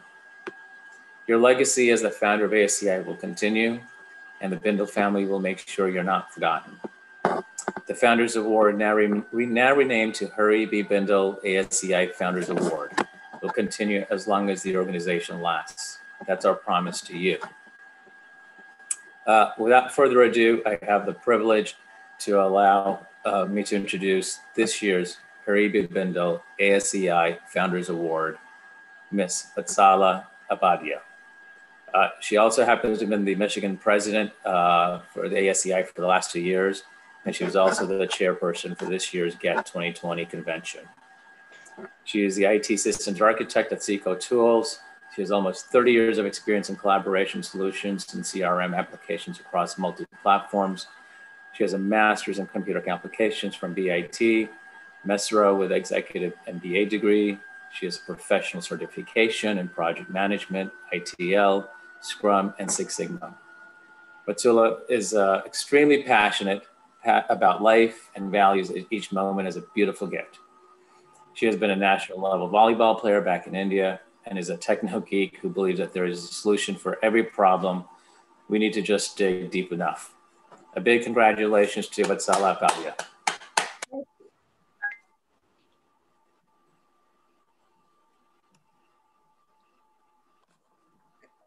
I think.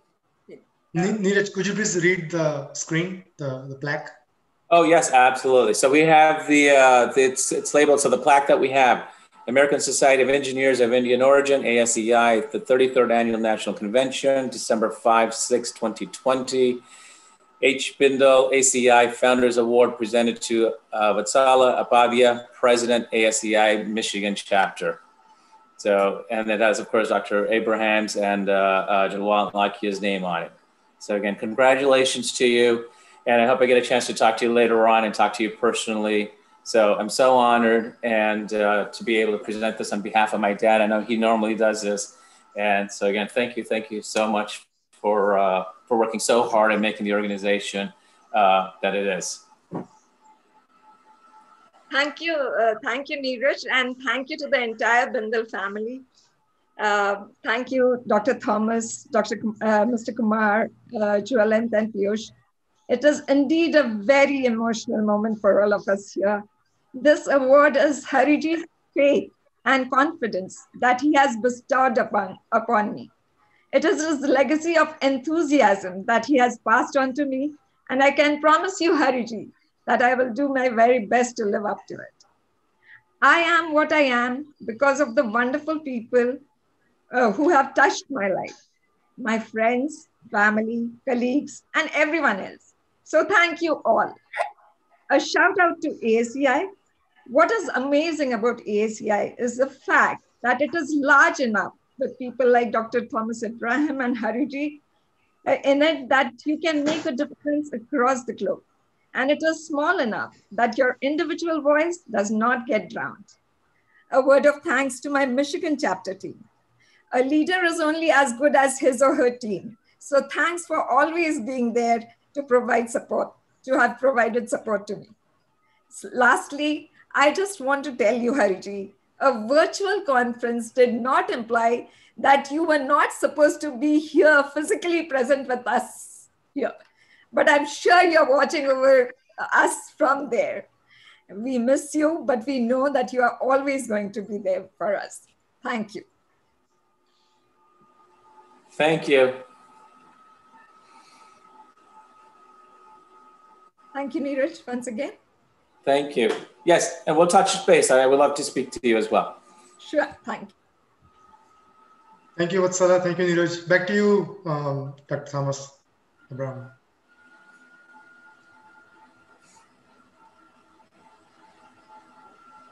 Is uh, Dr. Abraham still on?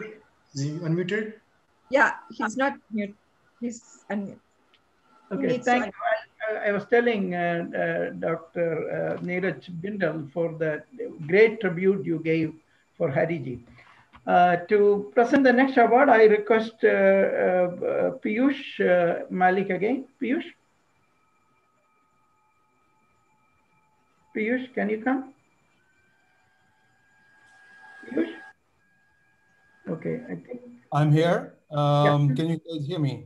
All right. Yeah. The ASEI Service Excellence Award is being presented to none other than Rakesh Patel, who's the current treasurer. He's been the president in the past of ASEI National, and um, uh, he is uh, an engineer, entrepreneur, board advisor, and IT consultant for various domains of emerging technologies. Working as a global IT compliance at uh, General Motors, Detroit, Michigan, for the past eight years. Uh, previously, he, was, he has provided IT consulting services to IBM, Chrysler, EDS, HP, Ford, and various other industries. Also, Rakesh has been serving executive and board member positions at various professional and non-profit organizations. Rakesh received an engineering degree from India and master's in management uh, of technology from the University of Phoenix, US.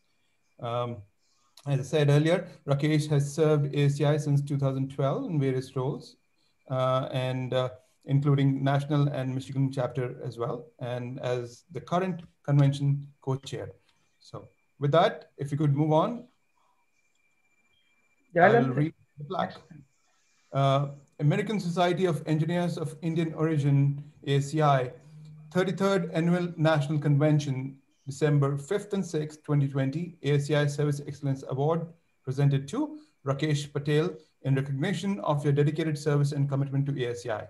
Rakesh, please uh, say a few words.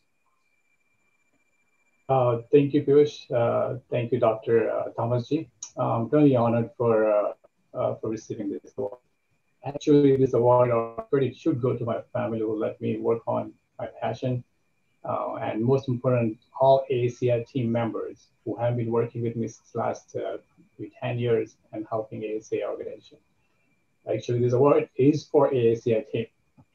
As Mr. Sam Pitroda addressed yesterday to young engineers, and I'm a strong believer that any act, when multiplied by thousands of people, can transform the world. What we do at ASEI for our engineering community, hope can transform to the world. So be part of the community and be part of the ASEI. Also, would like to congratulate uh, congratulations to other awardees who have received the ASEI awards today. Thank you once again, uh, Piyush, Dr. Thomas, Mr. Kumar, Jwalant, and the entire ASEI team. Thank you, guys. Thank you, Rakesh. Uh, we have two more awards. Uh, I invite Jwalant uh, to present the next awardee. It is my um, privilege once again to uh, talk about this next award. It's our service leadership and contribution to ASEI recognition uh, for Rakesh uh, Guliani. Uh, Rakesh is vice president at Park Computer Systems and has served as director at ASEI Silicon Valley chapter, focusing on STEM and internship activities. With education and background in software engineering and entrepreneurial experience of building a job board and application tracking system, he drives innovative solutions, coaches leaders to be successful, and develops strong, diverse teams, uh, attracting, retaining, mentoring, and developing talent are his, some of his key strengths. So once again, um, I would like to read the plaque that you would be sending to Rakesh. American Society of Engineers uh, of Indian origin, ASEI, at 33rd Annual National Convention on December 5th and 6th, 2020, presents Leadership and Contribution to ASEI Award to Rakesh Guliani. Rakesh, would you please say a few words? Absolutely. Thank you, Jwalant. Thank you, ASEI, Dr. Abraham, and Piyush, and Mr. Amit Kumar. Uh, first off, my uh, heartiest congratulations uh, to Naveen Jain, uh, Jyoti Bansal, Dr. Goswami, Devil Desai, uh, Vatsala Upadhyay, uh, Rakesh Patel, and other award recipients. I'm really honored to get this recognition and truly humbled to accept it. A big thank you to our Silicon Valley team, Piyush Malik, Lakshmi Patel, Sunita Dublish, Santosh Ankola, and Amrish Chopra for always going the extra mile and successfully executing so many projects and events. Uh, and I also want to wish uh, all the very best to everyone here uh, who participated uh, in ASEI event today. Uh, thank you for the award. Thank you, Rakesh. Thank you, thank you Rakesh. Uh, our final award will be presented by Piyush. Piyush Malik, please come back. All right. Our congratulations to Rakesh. And uh, our next uh, awardee for leadership and contribution to ASEI is Sunita Dublish. Uh, Sunita is a web developer with front end as well as back end skills and more than 15 years of experience in web development. She believes in creating great experiences for end users. And uh, she has worked at startups, nonprofits, and for profit companies. She has a computer science degree from IET Lucknow, and uh, she also serves and has served on boards at several nonprofit organizations. Um, Sunita has served at Silicon Valley ASEI chapter as a volunteer for a few years. And uh, since 2020, she's uh, on the board as a director. So congratulations, Sunita. And I'll read the next uh, plaque. Uh, if you could move on. American Society of Engineers of Indian Origin, ASEI, 33rd Annual National Convention, December 5th and 6th, 2020. Leadership and Contribution to ASEI Award presented to Sunita Dublish. Sunita, you may uh, say a few words. Thank you, ASEI, for giving me this award. Um, I have to thank Piyush for this award because when I moved to California, I was looking to uh, help a nonprofit, you know, and he somehow found me. We had worked together 25 years ago, and uh, I remember the call. He called me late in the night, and he was like, "Oh, Sunita, you're here." So, but uh, he needed some help with the website, and that's my passion, you know, creating great user experience. So I'm so humbled and honored to receive this uh, award. Thank you. Thank you. Thank you. Uh, thank you all awardees and uh, thank you for joining us. And uh, a special thanks to Consul General Amit Kumarji for joining us uh, this, uh, this afternoon, although I contacted him only about three days back, but he was kind enough to accept our invitation. In the process of uh, all this organization, we didn't have the chance to write him early that I apologize. We should have written him but he was kind enough to come and give a good message about what we could do for India. Um, I uh, also congratulate all the awardees and now hand over to Anu. Anu?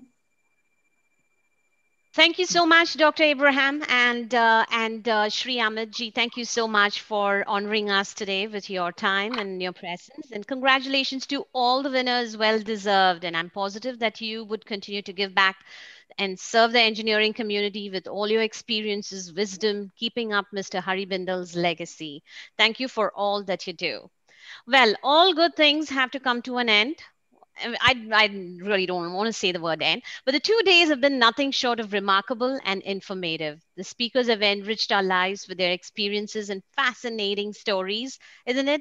And what happened last evening was nothing short of an exemplary display of skills and brilliance by the YTE kids. It just left the audience spellbound. I would like to invite the versatile Michigander, Bhavesh Joshi, ASEI Convention co-chair for his closing remarks. Thank you. Thank you, Anu. Um, thank you very much. As uh, convention co-chairs, uh, Rakesh Patel and I would like to thank uh, everybody for their participation and support. Uh, let me share my screen. Just a second.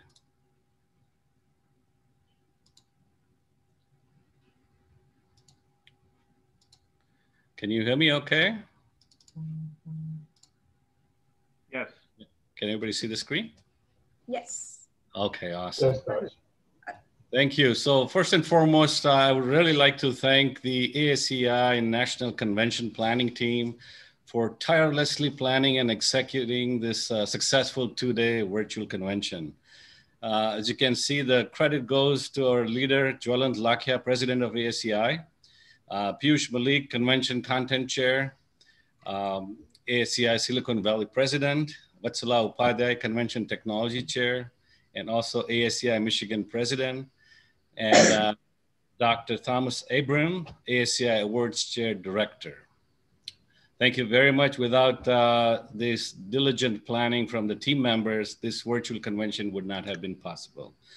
I'd also like to thank uh, all the ASEI and national board members, and all the local chapter presidents and their boards and all our membership. Uh, special remembrance to Dr. Hari Bindal. We really have lost a legend. We really had a wonderful uh, time yesterday, you know, with all the keynote speakers and the technical speakers. With, and we ended up with the YTE finalists. Uh, we're going to announce the results uh, at the end. Um, so would like to thank all the keynote speakers, all the technical speakers, and all the help from the panelists and session owners, uh, Amrish Chopra, Rakesh uh, Guliani, Sunita Dublish, Santosh Ankola, Mamta Naran, Sukrutha Baduria, uh, Rakesh Patel, and myself. This convention, we really would like to thank our sponsor, Mr. Chinmay Deshpande from C4D Mortgage. Thank you very much for your sponsorship. We also just would like to thank the award committee led by Dr. Thomas Abraham, Jwalant Lakhia, and Piyush Malik. And congratulations to all the award finalists. Thank you very much. This convention needs a lot of logistics, a lot of website updates, and this would not have been possible with our website and convention logistics team. Uh, Rakesh Patel, Sanjay Patel, Lalita Kambampati, they really worked very hard to make sure All our communication, our website updates were current and going to all the registrants. All the help from the convention logistic teams, uh, Ravi and Anjali, thank you very much. And a big thank you to Anu Krishnan, the convention master of ceremony. Wonderful uh, keeping us all glued each and every session and very in insightful comments and commentary. Last but not the least, our youth technology committee here, led by uh, Piyush Malik, Muthu, and Amrish. And we saw the wonderful presentations from our young budding entrepreneurs, scientists, showcasing their projects. We had six participants. And now uh, we're going to announce uh, the winners. The winners from YTE. The first place winner is uh, Nidhi Mathiali. Congratulations. Jyoti Rani is the number two. Isha Jagdish, number three. But all of you are winners. Uh, Divya, Ojas, and Manan, uh, you're all the finalists. Congratulations. You are our budding uh, scientists, leaders, and CEOs of the future. We should all encourage. Last but not the least, uh, we really want to thank each and every one of you for participating in this uh, two-day virtual conference. If you have the passion, time, and energy, please, uh, we welcome everybody to join ASEI. Please visit our website, aseiusa.org for further details. Thank you. Good night. And our conference will be wrapped today. All right. Thank you so much, Bhavesh. From the invention of the wheel in ancient history to the modern day drones, engineering constructs have provided the vital push for the progress of human technology. Engineers, all of you out there, we thank you. We thank you for making our dreams possible, for creating the world around us, and for paving the way for tomorrow's dreamers. To all you attendees and viewers, while you're enjoying your friends and family this season, don't mm-hmm. forget to thank an engineer for making your gathering possible.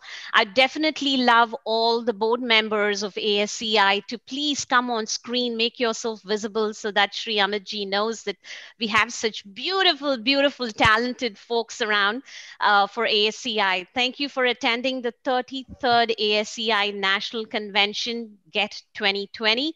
On behalf of ASEI, continue to enjoy the discoveries around you. Stay loved, spread your love, and have a safe and blessed festive season.